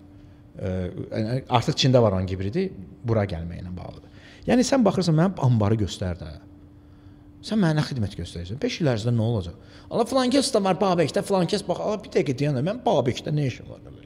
Mən filan yerə niyə getməliyəm? Filan kəs ustaniyə tamam. Özü sən mənə bunu deyirsənsə filan kəs usta var. Deməli məndən başqa 5 nəfər edimisən? Ha nə olur? Amma qardaş əlimdə maşın var, mən üçün zannət. Bir də var ki, gəlsən servisə təhvil verirsən. Nə vaxt maşınımı götürüm? Tak tak tak qardaş sən 3 gündən sonra gəlib maşınımı götürə bilərsən. Sənə bunu deyirlər. Babəkdəki Mamet dayı üçün elə bir qrafik şey yoxdur. Əlində nə var onu da görür də. Yəni Məsələn, Məmməd dayılar adətən nə deyir? Bir dənə vaxtın varsa gəl də. Bir, bir məsələ var danışaq. Bilirsən ki, ay, Sonra mən vaxtım var. nəsə oldu orada bir 15 gündə. Desən ki, vaxtım yoxdur, desəm ki, vaxtım yoxdur. Deyir da qardaş, sən gəlmədin, maşın qoydum qırağa. Sənin vaxtın olanda mən baxaram. başqasını söküb. Servisin, amma servisdə bunu elə bilmirsən. Servisdə dəqiq gəlirsən, sənə deyir ki, müəllim, bax bu bu bu budur. Sən bunları düzəltdirsən. Düzəltdim yoxsa yoxsa sənə okeydir, düzəldim. Vəssalam, işi görürlər səni. Mən Hyundai ilə elə olmuşdu. Mən maşınımı gətirdim, verdim servisə. Bu bu bunu düzəltmək lazımdır. Hə, yaxşı. Mən vaxt itirmədim. Məndə də Hyundai çox rahat idi servis. Hə. Hətta servis öz-özünə endirim falan eləyirdi. Hə, hə. Birinci yazırlar 600 az ödəniş eləməsən gəldim kaseti diyor sizin 15% endirimimiz Hə, var. hə, hə, hə. Falan falan düşürdü 300 manata deyirdim heç nə demədim ki mən burada.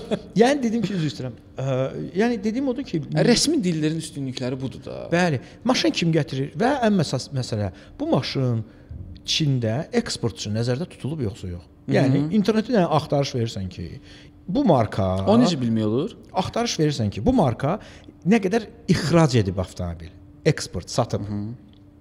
Orda rəqəmlər çıxır. Nə qədəri hara satıb? A, çıxır hə? Cədvəl. Baxırsan ki, məsələn şeyin üzərinə gedim də, Cilin üzərinə gedirəm. Cili rəsmi olaraq zavod satdığından söhbət gedir. Hansısa Huanchubi yox. Cili 2023-cü ildə bu qədər maşın satıb Rusiyaya, bu qədər maşın satıb Qazaxstana, Azərbaycana falan. A, demə- deməli ala bilərəm maşını. Amma sən görürsən ki, yazdığın marka ümumiyyətlə xarici heç bir maşın satmır. Ancaq Şanxaya satıb, Guangzhouya satıb ən böyük şəhərlərinə. Uzaq durmalısan. Sən uzaq durmalısan. Çünki onun bütün servisi, xidməti, hər bir şeyi ora aiddir. Sənə aidiyyəti yoxdur. Sən ümumiyyətlə o maşının mühərrik sistemindən tutmuş hər bir şeyi Çinin yoluna, Çinin yağına, suyuna, havasına və iqliminə uyğundur. Amma bir maşın Azərbaycan bu region üçün, yəni Rusiya üçün nəzərdə tutulubsa, artıq orada temperatur da var, yol da var, benzinin vəziyyəti də var. Yəni o şeylərin hamısı qiymətli. Yəni sən evlənəndə belə, yəni deyirlər, "Ey, maşın ikinci arvaddır." Qardaş evlənirsən də bir bax gör qızın atası kimdir, hardandır, kimlərdəndir. Gözəl nümunədir. Vin kodu burada bir də. Amma bunlar dizel mühərrikdə buraxmırlar hə maşınlar. Dizel demək yoxdur çünki Çində ekologiya ilə bağlı böyük ciddi qayda şeylər var. Hə. E, tələblər və reqlamentlər var ona görə. Dizel mühərriklər istehsal edənlər. E, var dizel, ancaq yük avtomobillərində. Hə.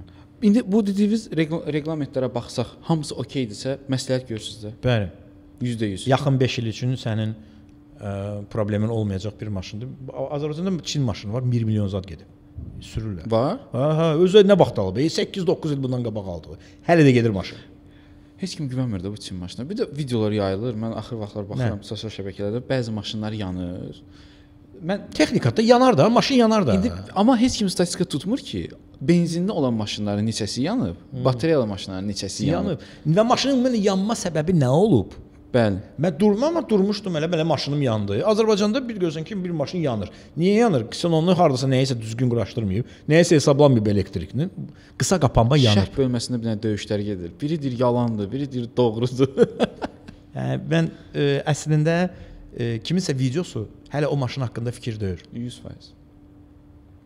İllərlə Yapon istehsalçıları bir görsən xəbər çıxdı. Yapon istehsalçısından Toyota, nə bilim Honda və ya digəri e, avtomobillərini geri çağırır. Bəli, bəli. Niyə? Əyləc tutmur, qapı düzgün bağlanmır. Texnikadır da, Bu qardaş. bütün markalarda olur. Bu adam edirsən gəlib Yapon almayacaqsan, alacaqsan da. Bu bütün markalarda olur. BMW-də olur, Volkswagen-də Hər olur. yerdə olur. Bu hardasa nəsə bir elementdir də, yəni bu texnikadır da, insan səhvi ola bilər, robotun da səhvi ola bilər də. Yəni bu nə şeydir ki?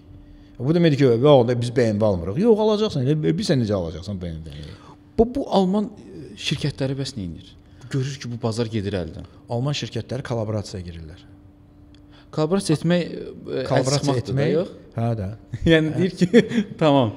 E, deyir, e, bundan da bir bitirə bilərik. E, Roma imperiyasında e, hansı ölkəni ki tuturdular, şeyin pulun üzərini təzə burada pul kəsilirdi, dəmir pul və onun üzərində yazılırdı Romanın əbədi dostu. Amma dost deyəndə qul nəzərdə tutulurdu da. yəni Roma deyirdi ki, sən mənim dostumsan, amma burada qul nəzərdə tutulurdu. Yəni burada da əl sıxma odur da. Yəni artıq razılaşırsan ki, mən sənin əbədi dostunam. Çünki mən o Rusiya bazarını itirməyə hardasa aşağı yuxarı Avropa falan razı ola bilər, amma Çin bazarını itirmək istəməz. Heç Amerikaya görə də itirmək istəməz. Amerika təbii ki, böyük ölkə olduğuna görə Çin bazarı ona rəqibdir deyə istəyər ki, Çin çöksün. Ona görə rəqabətlər falan digər şeyləri eləyir. Amma Avropa üçün Amerikaya görə Çin bazarını itirmək istəmək onlar üçün böyük riskdir. Elə bil ki, sən Rusiyanı itirmisən, bir dənə də Çin bazarını itir. Harda satacağam mən bunu? Hardasa öz- Kimə satacağam? Bəli. Yəni milyard yarım deyə qardaş bu yəni dünya daxilində Onda dünyadır. Çinlər alır yavaş-yavaş. Avropanın zavodlarını demək olar. Artıq 3 Çin markasının Frankfurtda zavodu var, ki Tesla-nın da Frankfurtda zavodu var. NIO-dur. Ə, Niyə deməli- bizdə yoxdur? NIO bizdə yoxdur. NIO heç vaxt rəsmi dillərlik vermir. Özü gəlir. Özü gəlir. Amma Azərbaycan bazarı onun üçün maraqlı deyil. Tesla da elədir, elə deyil? Tesla da elədir, bəli. Tesla da elədir. Tesla məsələn Qazaxstanda var. Hmm. İndi Türkiyəyə gəldi. Bazara Qafqaz onlar üçün balacadır da. Hə də, Çox balaca bazardır. Hə, İran biraz embargo altında deyə İran bazarına da girə bilmirlər, amma təsəvvür ki, İran biraz daha şey, Qazaxstana satır da, yox? hə, hə, liberal, daha liberal ölkə olsa, çox böyük bazardır İran. Alıcılıq qabiliyyəti də yuxarıdır. Məsələn, orada partlada bilərlər. Amma Çin artıq İranın içərisinə girir. Belə. Çox böyük bazardır. Ə, Tural bəy çox sağ olun gəldiyiniz Dəyməz. üçün. Ə, mən sizi hər zaman ə, çox uğurlu insan saymışam və əminəm belədir. Təşəkkür edirəm. Çünki nəyə görə? Bir insanın gördüyü işə baxırsan, görürsən ki, siz çıxırsınız radioda dinləyicilər üçün ancaq yaxşı məlumatlar verirsiniz. Sizdən xeyir tapırlar. Söhbətgah podkastını açırsınız. Yaxşı söhbətlər gedir. Yəni mənfi heç nə etmirsiniz, etdiyinizdə keyfiyyətlidirsiniz. Buna görə öz adımdan sizə sağ ol bildirirəm Təşəkkür və edirəm. öz işinizdə uğurlusunuz. Bir sual yaranır. Bu uğurun sirri nədir? disiplin, vəssalam, başqa bir şey yoxdur. Mənim nə xüsusi istedadım var, nə bir xüsusi qabiliyyətim var, nə xüsusi səsim var. Mən bəlli bir disiplinim var. Uşaqlıqdan bu disiplini özümdə formalaşdırmışam və o disiplinlə də gedirəm və heç nəyin o disiplinin pozmasını icazə vermirəm. İdmanım var, idmanıma gedəcəm, heç nəyə qatmıram. Məsələn, bu gün çəkilişə gəlirəm. Mən çəkiliş günü ikinci çəkiliş salmıram. Mən elə eləyirəm ki, mən səni bura tələsmədən gəlim. Deyim ki, bizə mənim 20 dəqiqə vaxtım var, mən gedim də. E, O yox. Mən səni niyə işi tələsdirməliyəm ki? Düz deyil. Sən sən planını mənə uyğun qurmamısan. Mən də planımı sənə uyğun. Bu bir disiplindir. Bütün işlərimi elə planlayacağam ki, bunların hamısı bax belə tap tap yerinə oturacaq. Əgər kimsə deyirsə ki, məsələn, nə bilim, hansısa futbolçu istedadlı, heç futbol istedadlı futbolçu yoxdur. Özünə hörmət eləyib, işinə hörmət eləyib, disiplinli futbolçu var. Cristiano Ronaldo bunun bariz nümunəsidir. Bəli. Hər gün anası onu futbola aparıb. Lionel Messini hər gün nənəsi futbola aparıb. Hər gün o topu divara vurub. Bam dam. Çinlilərdə bir söz var. Latınlarda da o söz var. Su düşdüyü yeri dəlir. Davamlı olaraq bir yerə düşəcəksə onu dəşəcək, daşıyacaq. Düz deyil. Disiplinli. Sən sadəcə hər gün bunu vur. Hə, sən onda perspektiv görmürsənsə, sən "Ə, nə qədər vuracam ha. Amma Ronaldo deyib ki, mən mənim hədəfim budur da, mən bunu. Və bunu da edir. Qutardı getdi. Yəni disiplindən kənar, yəni sən özü kitab oxumaq disiplini qoymusansa, bunu etməlisən. Və davamlılıqda, disiplin nədir? Davamlılıqdır. Həyat disiplinlərinin zənciridir. Bəlli şeyi edəcəksən. Sən idmana getmədən sən elə ki, Olimpiya çempionu olmaq üçün məşq eləməli deyirsən. Sən salonda məşq eləməlisən. Başqa yolu yox. da. Başqa yolu yoxdur axı. Sən illərlə məşq edəcəksən ki, gedib Olimpiya çempionu olsan. Michael Phelps Olimpiyadada üzgüçü idi, ondan başqa rekord vuranı yoxdur da. Yəni dəhşət rekord vurub. Də boynunda 8 dən qızıl medal. Yəni elə insan yoxdur. Elə insan yoxdur. Dünya Boynunda bizə nə qədər medal var. Yəni bir olimpiyada bu qədər rekord qırmaq olar və ya Usain Bolt olsun, ə, Michael Jordan olsun, Chicago Bulls'un əfsanəvi kapitanı. Mənim üçün şeydir o, markadır. Adamın həyat disiplinləri var. Və təsəvvür elə ki, adamın ə, idman ayaqqabısı şirkəti ilə reklam şeyi var. Hələ bu basketbol oynayanda var deyə Air Jordanlar. Hı -hı. İlinə 50 milyon dolları o sadəcə orada onun soyadı var, Jordan sözünə görə. Air-də bu özü uçan idi. Hamı bu hoppanırdı, hamı hoppanıb düşürdü. Jordan hələ göydədir. Belə deyirdilər də. Hə, amma bu uçu, uçan adam idi də. Air Jordan oradan gəlir, uçan Jordan. Buna ilə 50 milyon dollar pul qazanır. Niyə görə? Çünki illər boyu bu adam uçub. Boyu da çox hündürdür ha. Yəni basketbol standartlarına qədər belə fantastik belə Məşqə hamıdan tez gəlib, hamıdan gec Gec gedib həmişə atıb bunu. Həmişə. Ən yaxşı orta sredni brasok deyirlər basketbolda buna. Ən yaxşı sredni brasokları o atırdı. Kimsə 3 üçlü atmada şeydir. Niyə görə üçlü atmadadır? Məsələn Del Piero niyə Del Piero'dur? Roberto Baggio niyə Roberto Baggio? E, Ronaldinho niyə Ronaldinho'dur? Yəni bunun sirri Hamısının sirri eynidir. Disiplin, topla oynayıb. Formula eynidir? Arkadaş bu Ronaldinho'nun topla oynamasının sirri odur ki, bu topla oynayıb. Yəni, o yaxşı çiləyir ona görə ki, o çox çiləyib bu topu. Bəs salam, qart getdi. bu qədər sadə. Bu qədər sadə. Çox çiləyəcəksən, sən də bacaracaqsan. Bacarmayacaqsan və salam da. Yəni sənin disiplinin olmalıdır və sən e, bir də işi sevməlisən. Sevmədiyin şey Steve Jobs'un bununla da bitirək. Steve Jobs'un çox bir qəşəng bir kəlməsi var. Deyir ki, əgər sən hər 3 günə dardarda yuxudan durub işə getmək istəmirsənsə, sən bu işi həvəsin yoxdursa, deməli sən nə isə düz eləmirsən. Əssalam. Çox sağ ol. Dəyməz. Buyurun.